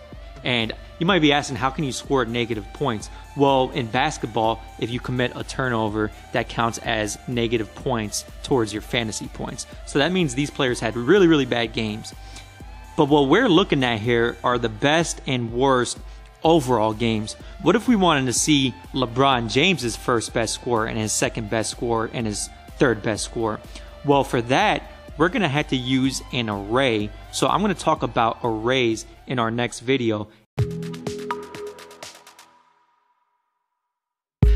So we already learned about VLOOKUPs and index matches, but the problem with these functions is that they only allow us to match up single values. But what if we had to do lookups based on multiple criteria? For instance, in this example, which is in the index match array file, we have three different fields and each of these fields contain different information related to smartphones. In column A, we have the model. Okay, so it's either an iPhone or a Galaxy. In column B, we have the version. So you have the version 9, the X, the XR, the Galaxy 9 or the Galaxy 10. And in column C, we have the storage. Now, suppose here in cell H8, we wanted to find the quantity available. And in cell H9, we wanted to find the cost for a particular type of phone based on the values in cells H3 through H5. Well, in order to do that, we're going to have to use what's called an array. If we try to do a VLOOKUP or an index match, it's not going to work because we have duplicate values in all of these different cells here. So before I show you how to do it by using an array, I want to show you a different method that does not involve using an array, but it does involve one extra step. So let's come over here and insert a column to the left, okay, and let's call this column concat. Now in this column here in cell F2, we're going to concatenate the values in A2, B2, and C2.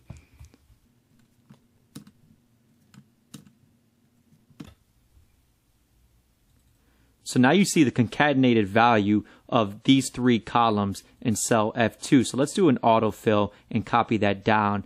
And now we can do an index match and match up our lookup value against column F in order to get the quantity and the cost. So let's go ahead and do that. Okay, now the array is going to be column D because we want to find the quantity available. The row number, for the row number, that's where we're going to use the match. And now it's asking for the lookup value. So for the lookup value, we're going to concatenate the values in cells I3 through I5.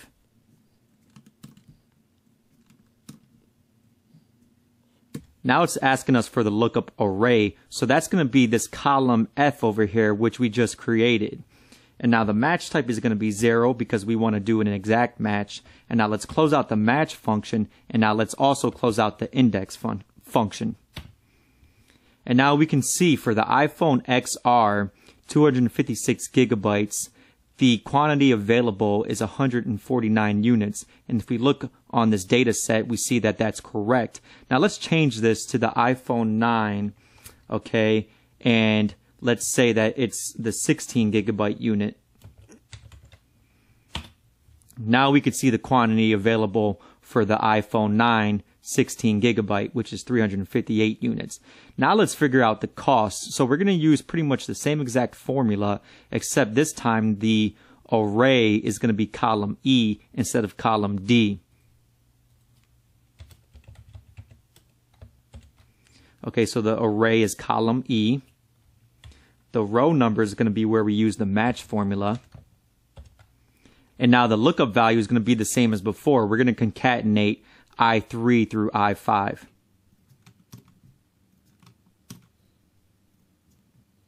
The lookup array is going to be column F. And now the match type is going to be 0 for exact match. Let's close out the match function and let's close, close out the index function. Let's hit enter. And now we see the price for the iPhone 9 16 gigabytes, and that's $600, which is correct. Now, like I was saying before, this method involved one extra step because we had to come here and create column F and concatenate all these values here. So if we wanted to avoid this extra step, well, we're going to have to use an array function. So let me show you how to do that. First, let's get rid of column F here. And now let's get rid of these formulas and go back into cell H8 and create a new formula. And we're going to first use the index formula. And now it's asking us for the array. Well, the array is going to be column D because we want to find the quantity available. Now for the row number, we're going to have to type the match function. So, so far, pretty similar. And now the lookup value is going to be the same as before. We're going to concatenate H3 through H5. Let's hit comma, and now it's asking for the lookup array. This is where it gets a little bit different. So for this, we're going to select column A, followed by an ampersand, followed by column B, followed by another ampersand, followed by column C. Now let's hit a comma, and for match type, let's type 0 for exact match. Let's close out the match function, and now let's also close out the index function. And something's, something's going to be wrong, and I'll explain to you why. So let's hit enter and now you see hashtag value. And the reason that says has, hashtag value is because we didn't turn this formula into an array. Okay, the way to turn a formula into an array is to hit control shift and enter instead of just hitting enter. Okay, so let's try that. Let's hit control shift enter. And now we see 358 for the quantity available, which we know is correct. And if you look at the formula here in the formula bar here, you see these curly brackets at the beginning and at the end of the formula. That indicates that it is an array function. So let's come back into cell H9 now, and let's do the same formula, but instead this time, let's look up the cost. Okay, so let's begin by typing the index formula. And now it's asking for the array. So this time it's going to be column E. Now it's asking for the, the row number, so we're going to use the match function. The lookup value is going to be the same as before.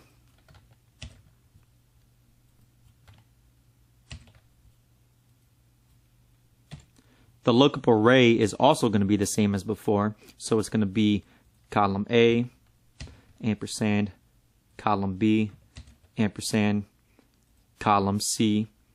The match type is still going to be 0 for exact match. And now let's close out the match function and let's also close out the index fun function. And now let's hit Control Shift Enter. And now we see the cost for this iPhone 9 16 gigabytes of $600. And if we look here in row two, we see that that's correct. Now let's change this to Galaxy 9, and now let's say 128 gigabytes. And now we see the quantity and the price for the Galaxy 9 128 gigabytes, which is 398 available $650. So we know that this is working correctly. And that's how you look up values with multiple criteria. And you can also use arrays for other things. And let me show you an example of one which we touched upon at the end of the last video. So let's open up the next file. This is called the NBA small large array file. And you might remember this data set from before. And in the last video, I showed you how to look up the first best, second best, and third best overall games for the season. And I also showed you how to look up the first worst and second worst and third worst overall games for the season. But I ended the last video mentioning that if we're going to want to figure out the first, second, and third best games for a specific player, in this case, Steph Curry, well, we're going to have to use an array formula. So let me show you how to do that. So let's come over here to cell L3 and let's initiate the large function. Now it's asking us for the array. Now here's where it gets a little bit different than the normal large function. So now for the array, we're going to have to initiate an if formula. And now it's asking for the logical test. Well, that's going to be if column B, which contains the player's name, equals cell L2, which has the player's name that we're looking up in this specific case. And now it's asking for the value if true. Well, the value if true, we're going to put column F because we want to grab the fantasy points from column F. And we're not going to have a value if false. So we're just going to end the if function now by closing out the parenthesis. And now let's type a comma. And now it's asking us for K. And the K is going to be the same as before. In this particular case, we want the first best overall game. So we're going to type a 1 here.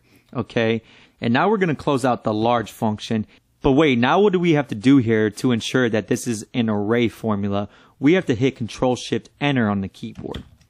So when we do that, we see that Steph Curry's best overall game was 71.7 points. Now let's figure out his second best overall game. So let's go into this formula here and let's copy it. And now let's hit escape. That way we don't affect anything here. And let's come over here into cell L4 and let's paste that formula that we just copied. But let's change that 1 to a 2 because we want to find the second best game by Steph Curry. And now let's hit Control Shift Enter on the keyboard because remember this is an array formula.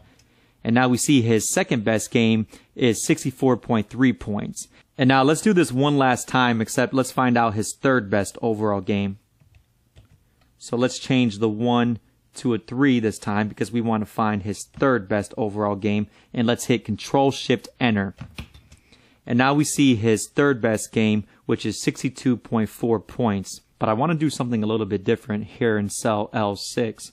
So in cell L6, we want to figure out the fourth best overall game, which is what this 4 is for. And then in cell L7, we want to figure out the fifth best overall game. And in cell L uh, eighth, we want to figure out the sixth best overall game. Well, I want to show you how to do this by using an autofill. So let's type up the function again. The array is going to be the if function.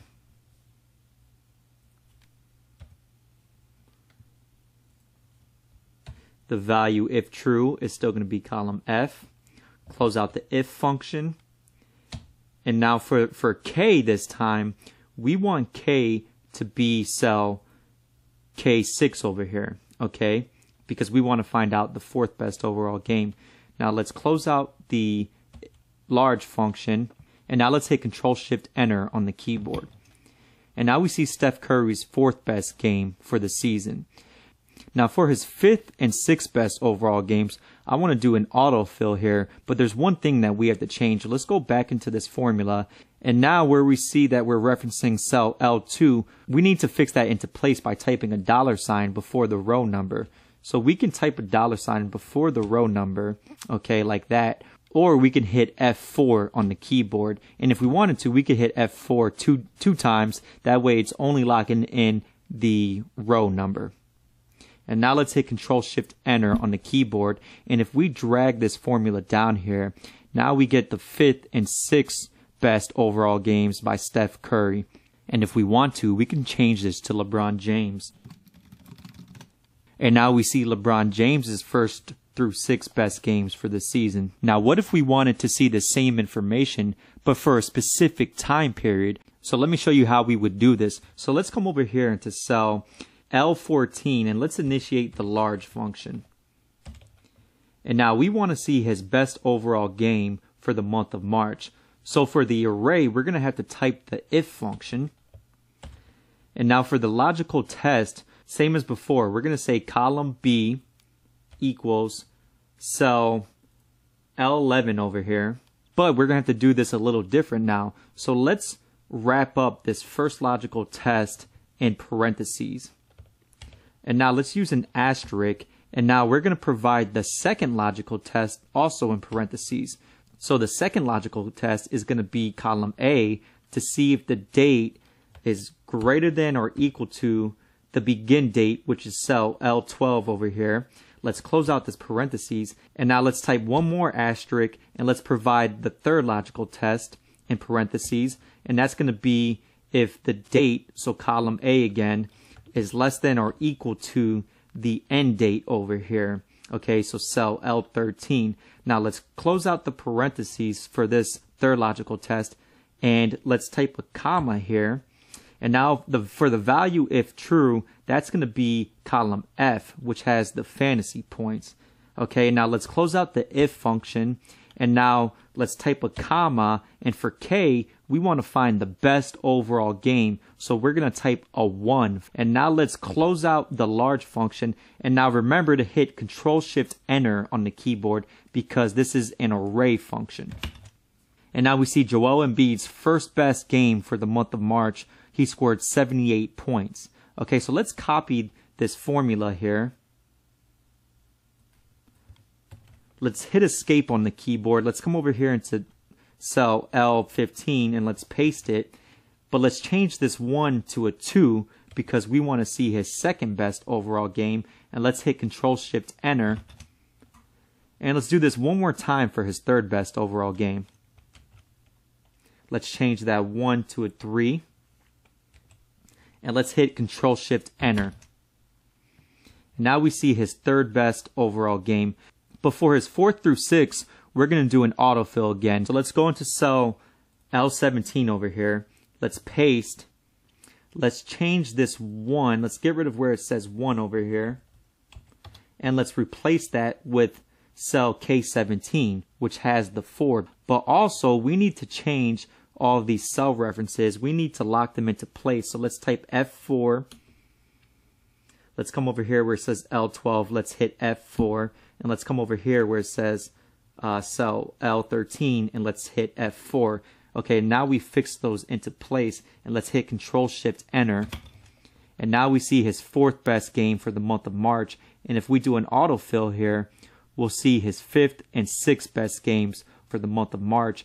Now try to remember these scores the best you can here so we can make sure that it's correct. And let's come over here into cell A1 and let's apply a filter by hitting Control Shift L on the keyboard. And now we want to filter for Joel Embiid. So let's type Joel Embiid here. Okay. And now we want to filter for the month of March. So let's hit March over here. And let's sort the fantasy points over here in column F, largest to smallest. And now we pretty much see those same exact numbers here. So let's turn off these filters. Now, if you wanted to, you could come over here into cells L20 through L25 and you could figure out his first through six worst games, which you already know how to do. You're pretty much going to do the same thing that we just did, except you're going to use the small function instead of the large function.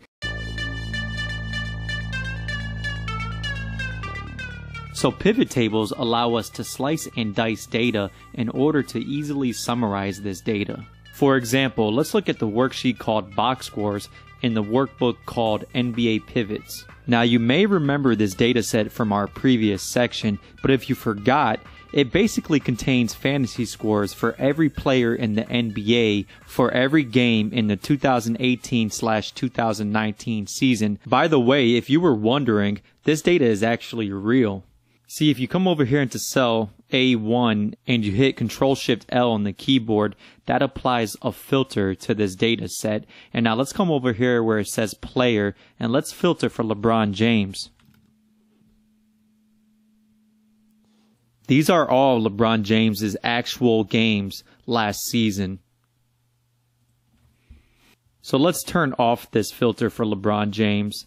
And now let's create a pivot table. So it's actually pretty easy to create a pivot table. All you have to do is select a cell within our data set, which I already have A1 selected, and come over here into insert and choose pivot table. Now it's saying what range do we want to create a pivot table for? Well, it automatically knew which range to select, so we don't have to do anything with that. Now it's asking us where do we want the report to be placed? Well, we'll put it in a new worksheet, so we'll leave it like that. And now let's click OK. And now we have a pivot table here, but now we need to start adding some information to this pivot table. So let's suppose we wanted to see which players scored the most total points during the season. Well, in that case, we should add the player name to the row area by dragging it like this. Now we have all the player names in one column in the pivot table. Now we want to see what their total fantasy points were. So let's drag the fantasy points field into this values area. And now we see sum of fantasy points. So these are these players' total fantasy points. So if we wanted to see who the top guys were, well, we're going to come up here to data and we're going to do a sort Z to A. And now these are all of the top players as far as who scored the most total fantasy points. So now you can kind of see how easy it is to summarize data by using a pivot table. But you can do so much more than just that. So first of all, let's change these headers here by typing directly into them. We'll call this first field player name. And then this second field over here, we'll call it total FP. FP stands for fantasy points. And now we change those headers. Also, we can do an auto size here by double clicking between B and C.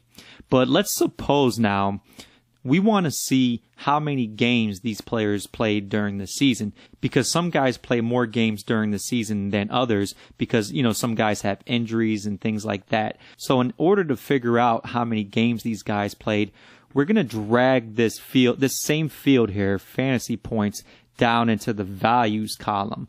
But this time we're going to click on this and we're going to choose value field settings. And now we want to see the count. We don't want to see the sum of the fantasy points. We want to see the count because that's going to tell us how many games these guys participated in. So let's hit OK. And now we can see, you know, James Harden played 76 games, Giannis played 72, and so on down the list. So let's change the name of this field to GP, which stands for games played. And let's also do a resize here. And now I want to show you something very important now let's suppose that we wanted to see their fantasy points per game, which is going to be the average. Well, the average is going to be the total fantasy points divided by the games played. So let's come over here into cell D4 and let's type up a formula. But I want to show you what happens when we try to reference a cell from a pivot table. It's referencing its location in the pivot table. So now let's say divided by, and now let's click on the games played over here in cell C4. And now you see that it's doing the same thing. It's referencing its location in the pivot table. Now when we hit enter, we still get the average. But look what happens when we try to do an autofill.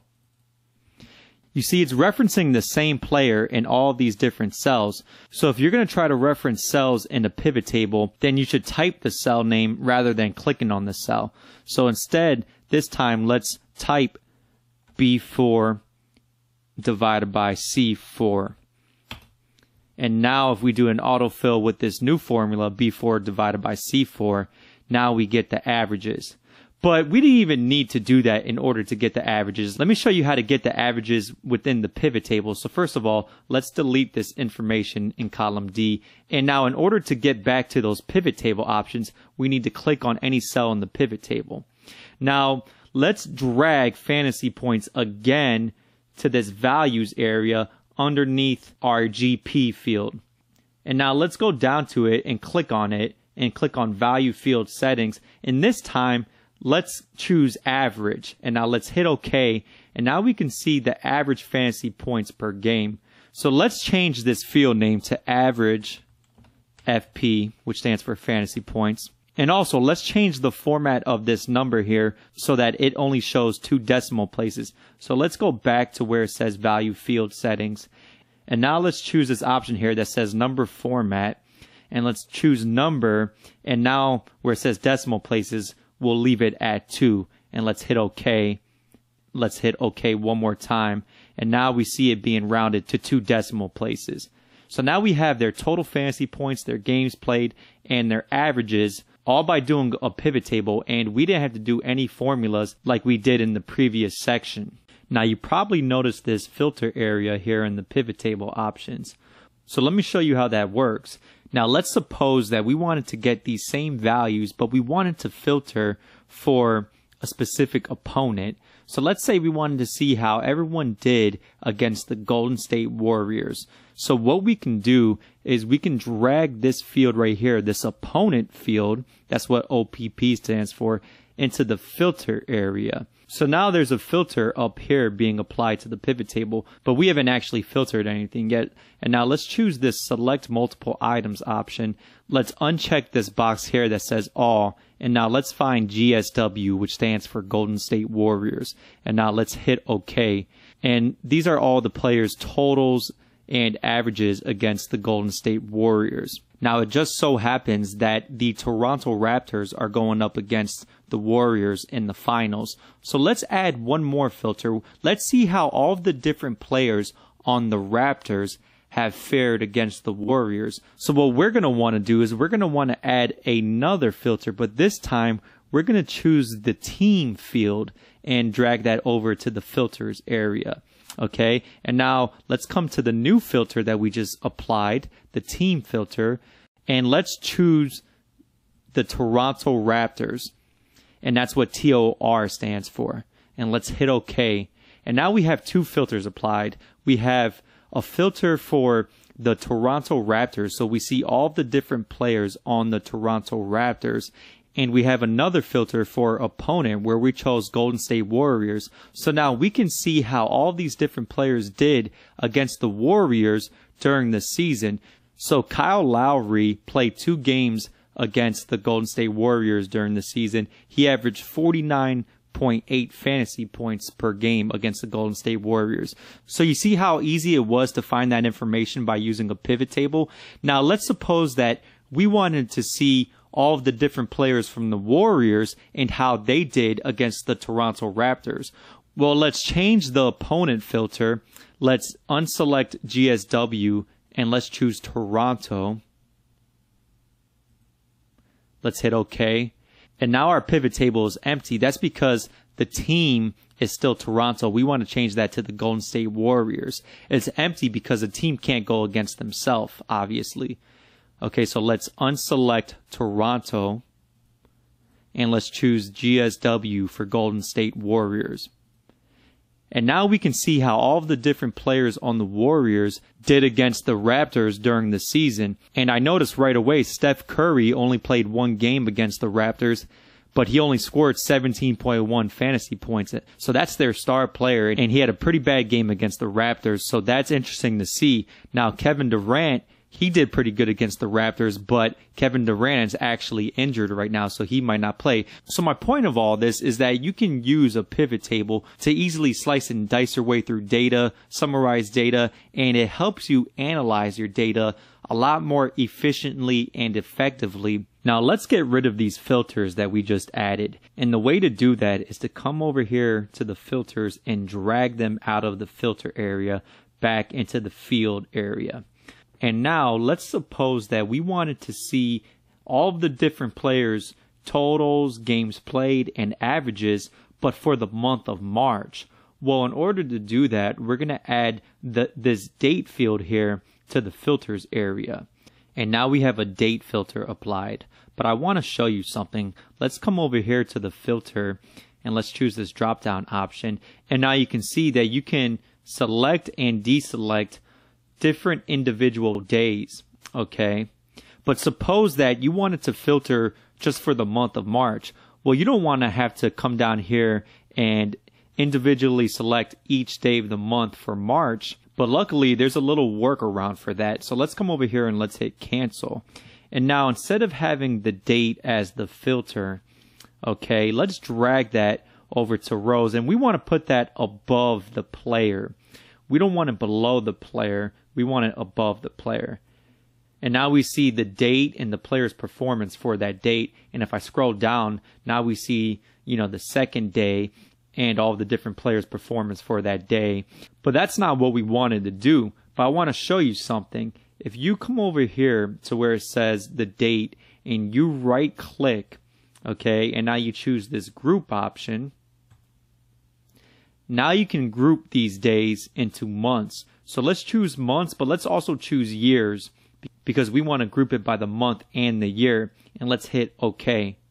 Now it's all being grouped by the month and the year. So here we have October 2018. And if we scroll down, we should, we should see November 2018 next. There we go, November, December, and now we see 2019 January. But still, that's not a filter for the month of March, like we were saying. Sure, we could scroll down to March, but instead, we want this as a filter. But now that we have it grouped by the month and the year, well, now we can take these fields down here and drag them to the filter. And now we can come up here and we can choose for the year, we can choose 2019. And then in this next field where it says date, that has all of the months, so we can choose March.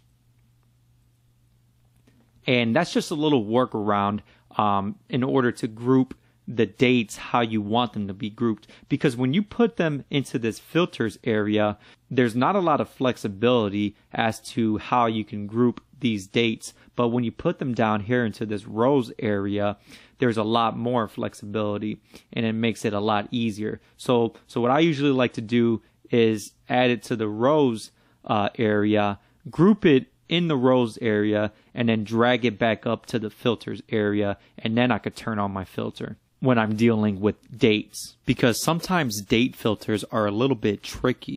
Now let's suppose that we wanted to see how each player did during each calendar month of the season. Well, a nice way to do that would be to put the months into columns. So it's pretty easy to do that with a pivot table. First of all, let's take these filters off. So let's select all for the month and let's come over here to the year and select all for the year. And now let's drag these filters to the columns area of the pivot table. And also let's drag this years filter to the columns table. And we want that to be above, we want the year to be above the date. And we want the date to be above those values. Microsoft Excel automatically added this values field uh, when we were doing the totals and the averages down here. Okay.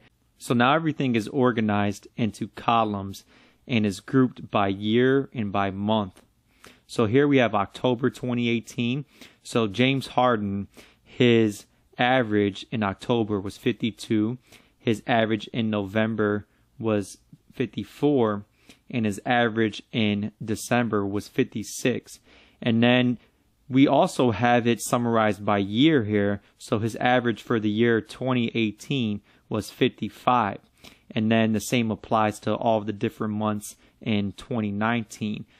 So that's a nice way to organize this. But if we want, if we didn't want these totals here, we could right click on it and we could, we could select where it says subtotal year and uncheck that. And now we don't have those subtotals for the year. And there's also going to be totals for this entire data set over here um, at the end. And we can also get rid of those. So if we right click on it, we can say remove grand total right here. And now we don't have those grand totals anymore. We just have all the totals for the different months. But there's also going to be grand totals at the bottom of this data set for all the different players. So let's go to the bottom of this data set by hitting control down arrow. And now let's right click on the grand total here and let's hit remove grand total. Okay, and let's go back up to the top of this data set by hitting control up arrow. Okay, and now we see all of the grand totals are gone and we have a nice clean pivot table. Now let's suppose that we added some more data to our source data. So let's come over here into box scores and let's go to the bottom of this data set by hitting control down arrow. And let's say that on 4 6 2019, I got signed to my favorite team, the Miami Heat. So let's put Adrian P over here and my position is point guard because I'm too short to play any other position. My team is Miami, and the opponent is, let's just say, Golden State Warriors. And let's say I had a really, really good game. I scored 105 points. Well, now we need to refresh that pivot table in order to see my score here. So let's come over here to sheet two. Let's right click on the pivot table. You could right click anywhere in the pivot table and let's hit refresh. And now let's come over here to April and let's sort it from high to low for the average because I would be at the top of this list because I had a really good game where I scored over 100 points and I'm not on here. Well, why am I not on this list?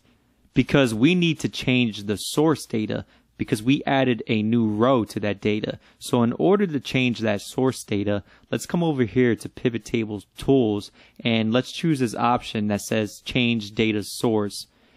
And now you see that that last row is missing. So let's come back to A1.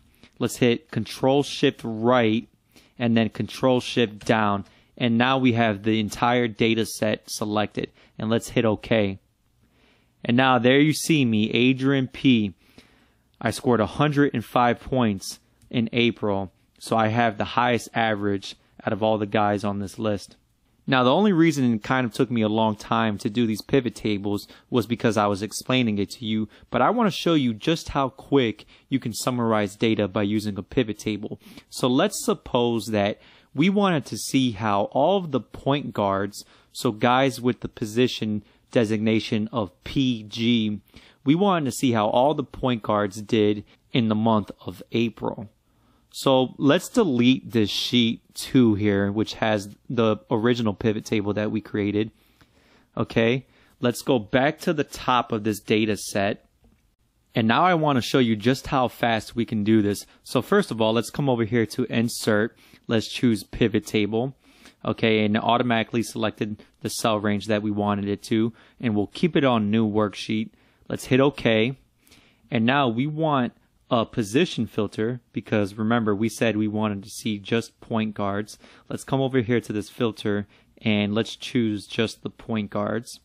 Let's add the player field to the rows area. And now we have all the different point guards names here. And now let's add the fantasy points to the values area here, but we don't want to see the sum. We want to see the averages. So let's come over here and let's choose average. Let's come to number format and let's make sure that it has two decimal places. Let's hit OK and let's hit OK. And now we have all the averages for all the different point guards. But I also said I wanted to put a date filter for the month of April. So let's come over here to date and let's add that to remember to the to the uh, rows area because we're going to do that workaround that we did before. And now let's come over here. Let's right click on the year and let's say group. And now we want to group by by months and by years. So we got rid of where it grouped it by quarters. Let's hit OK. And now let's drag this years to the top of this filter and let's drag this date here, which is the months to underneath years on the filter. And now we could come over here and we can choose the month of Mar or April, I said, and let's choose the year 2019. And now we have all the averages for the point guards for the month of April. And you see me here at the top. And let's just do a sort here. So let's come to data and let's say sort Z to A. And you can see I have the best average for the month of April and then Russell Westbrook right after me. So you see how easy it was to summarize data. That's why the pivot table is such an important tool and it's so powerful. But I wanted to show you one more thing. What if we wanted to see all the games in the month of April that made up this 66.3 point average by Russell Westbrook. Well, all we have to do is double click on this and this will show us all of the records that make up that number. So you could pretty much drill down into anything in your pivot table. So let's delete this. And let's suppose that we wanted to come down to the bottom here. So let's hit control down arrow and we wanted to, to drill down into this total. So now when we double click on it, we see all of the games in the month of April by all of the point guards. So the drill down feature is a really cool feature within a pivot table and it's very useful. So charts and graphs help us to visualize data so that we can better analyze the data. Let me show you an example of what I'm talking about. So right now we're in the monthly sales worksheet. This is in the graphs and charts workbook. And what we're looking at is a list of budgeted versus actual sales grouped by month. And right now, it just kind of looks like a bunch of numbers, and it's kind of hard to see what's going on right away without digging a little bit deeper. However, let's come here to the monthly sales graph worksheet. And this bar chart is a visual representation of the data we were just looking at. And it's so much easier to see what's going on when you're looking at the graph. I mean, right away, we can see that, you know, in March, sales were really good and they far exceeded their budgeted sales. And then we can also see all of the weak months. For instance, right here, they had a really weak month in July. Their budgeted sales were really high, but their actual sales were really low. So it's pretty easy to see what's going on when you're able to visualize the data. So let's take a look at one more example. So if you come to this worksheet called sales by brand, here we have a bunch of sales for cell phones grouped by brand. And right away, when you look at the pie chart, you see that Apple makes up pretty much half the pie, and Samsung is another big seller. And then you have these other smaller cell phone uh, manufacturers that don't quite have as much in sales. So the pie chart is a pretty effective visual tool for something like this. Now I'm going to show you just how easy it is to create a graph in Microsoft Excel. So let's come to this worksheet called Basic Graph. Okay, and here we have in column A a bunch of different sales rep, and in column B we have their total sales. So we want to visualize this in some sort of a chart or a graph. So right away, an easy way to do this is to click in any cell in this data set. We'll come over here to insert, and then we'll choose this option right here, recommended charts. And now Microsoft Excel brings up a bunch of different suggestions for charts that we can use. So you get a little preview here on the right hand side as you go through all the different recommended charts. Or if you go into this next tab over here called all charts, now you can see, you know, the different types of charts. Right now we have a column chart and if you hover over them, you could preview it. You can also do a line chart, a pie chart, which we just looked at, a bar chart, an area chart. You can even do a scatter chart. So there's all kinds of charts that you can do in Microsoft Excel. But let's go back to recommended charts and let's choose this first chart here. And now we created a chart that easily. So let's move this chart by dragging it up here and let's make it a little bit bigger by dragging the bottom right hand corner.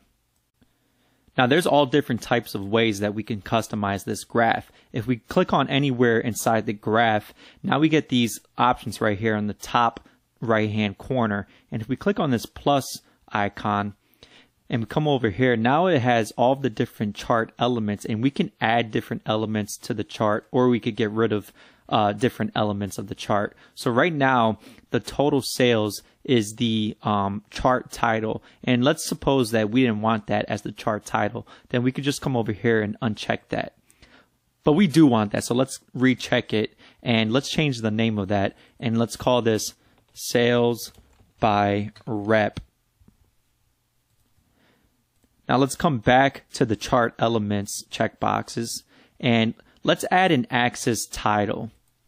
Okay, and now we have an axis title here on the y-axis and another one here on the x-axis and we could change the names of these titles so let's call this this one on the x-axis let's call this rep name and now we have all the different rep names on the x-axis and let's call this y-axis title total sales now let's come back into the chart element options and we can also add a legend. So if we check this box for legend, now we have a legend here on the right hand side and it's saying that the blue represents total sales. And if we wanted to, we could add data labels. So at the top of the bars now, it tells you the total sales. You can even add a trend line. So now we have a trend line here. Um, so there's all kinds of options to how to customize your graph. You can even change the values here in the y-axis. So let's right click on this and let's choose format axis.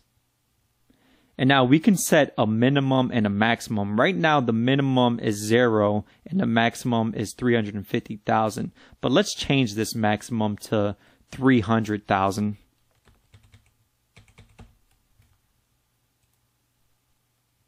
Now you see that the maximum is 300,000 and we could even change the units of measure. See right now it's working in increments of 50,000. So if you look here on the left hand side, you see that it goes from 50,000 to 100,000 to 150,000. So let's change these uh, units to 100,000. And now you can see that the y-axis works in increments of 100,000. So you have 100,000, 200,000, 300,000. Or we could even come in and change this to 10,000. And that doesn't look very good, does it? So let's go with the original of 50,000. That looks a lot more clean. Now you can even change the chart type after the chart's been made. So let's say that we wanted this to be a pie chart instead. Well, we could just click on anywhere within the chart, okay? And then we're, we're to select this option right here that says change chart type. And then let's come down over here to pie and let's choose this pie chart here. And now we have a nice little pie chart instead of the bar chart. So it's so easy to create and to customize charts in Microsoft Excel. Now let's undo what we just did by hitting Control Z that way we could get back to the bar chart, okay? And I want to show you how graphs and charts can get a little bit more complex, but it's still pretty easy to deal with them. Now let's close out this chart options area on the right hand side. And let's come over here and let's make this um, graph a little bit more narrow. And let's add a field here in column C. Let's call this budgeted sales. Okay, let's do an auto size here. And now for the actual budgeted sales, let's just use a random function. So we'll see we'll say random number between 50,000 and let's say 400,000. Let's do an autofill here. And let's copy and paste this as values. Otherwise, it will keep changing. Now we want to add these budgeted sales to this graph. That way we can see budgeted versus actual sales. So let me show you how to do that. So what you need to do is right click anywhere within the graph and then choose this option right here that says select data. And now we want to add something to the legend entries series. So let's click on the add button here. And now it's asking for the series name. Well, for the series name, we could just click on cell C1, budgeted sales. And now for series value, let's get rid of what's in there. And let's choose cells C2 through C13 because we want these budgeted sales in there. And now let's hit OK. And now we have the budgeted sales in there. But if you look on this right hand side over here at the horizontal category axis labels, we just have these numbered labels 1 through 12. But we want to change this. We want these labels to be the sales reps names here in column A. So let's hit this edit button and let's choose these reps names over here. So cell A2 through A13 and let's hit OK. Now you can see all the reps names here in the horizontal axis labels. Now let's hit OK.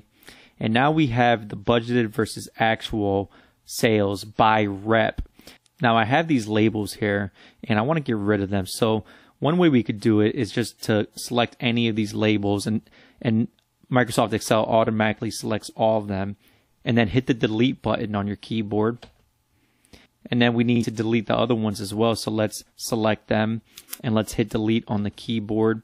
Or we could have done the other thing that we did earlier where we went to the, where we came here to the chart elements and we checked the data labels checkbox in order to add it and then unchecked it to get rid of it. Also, let's get rid of this trend line here. So let's uncheck this box for the trend line.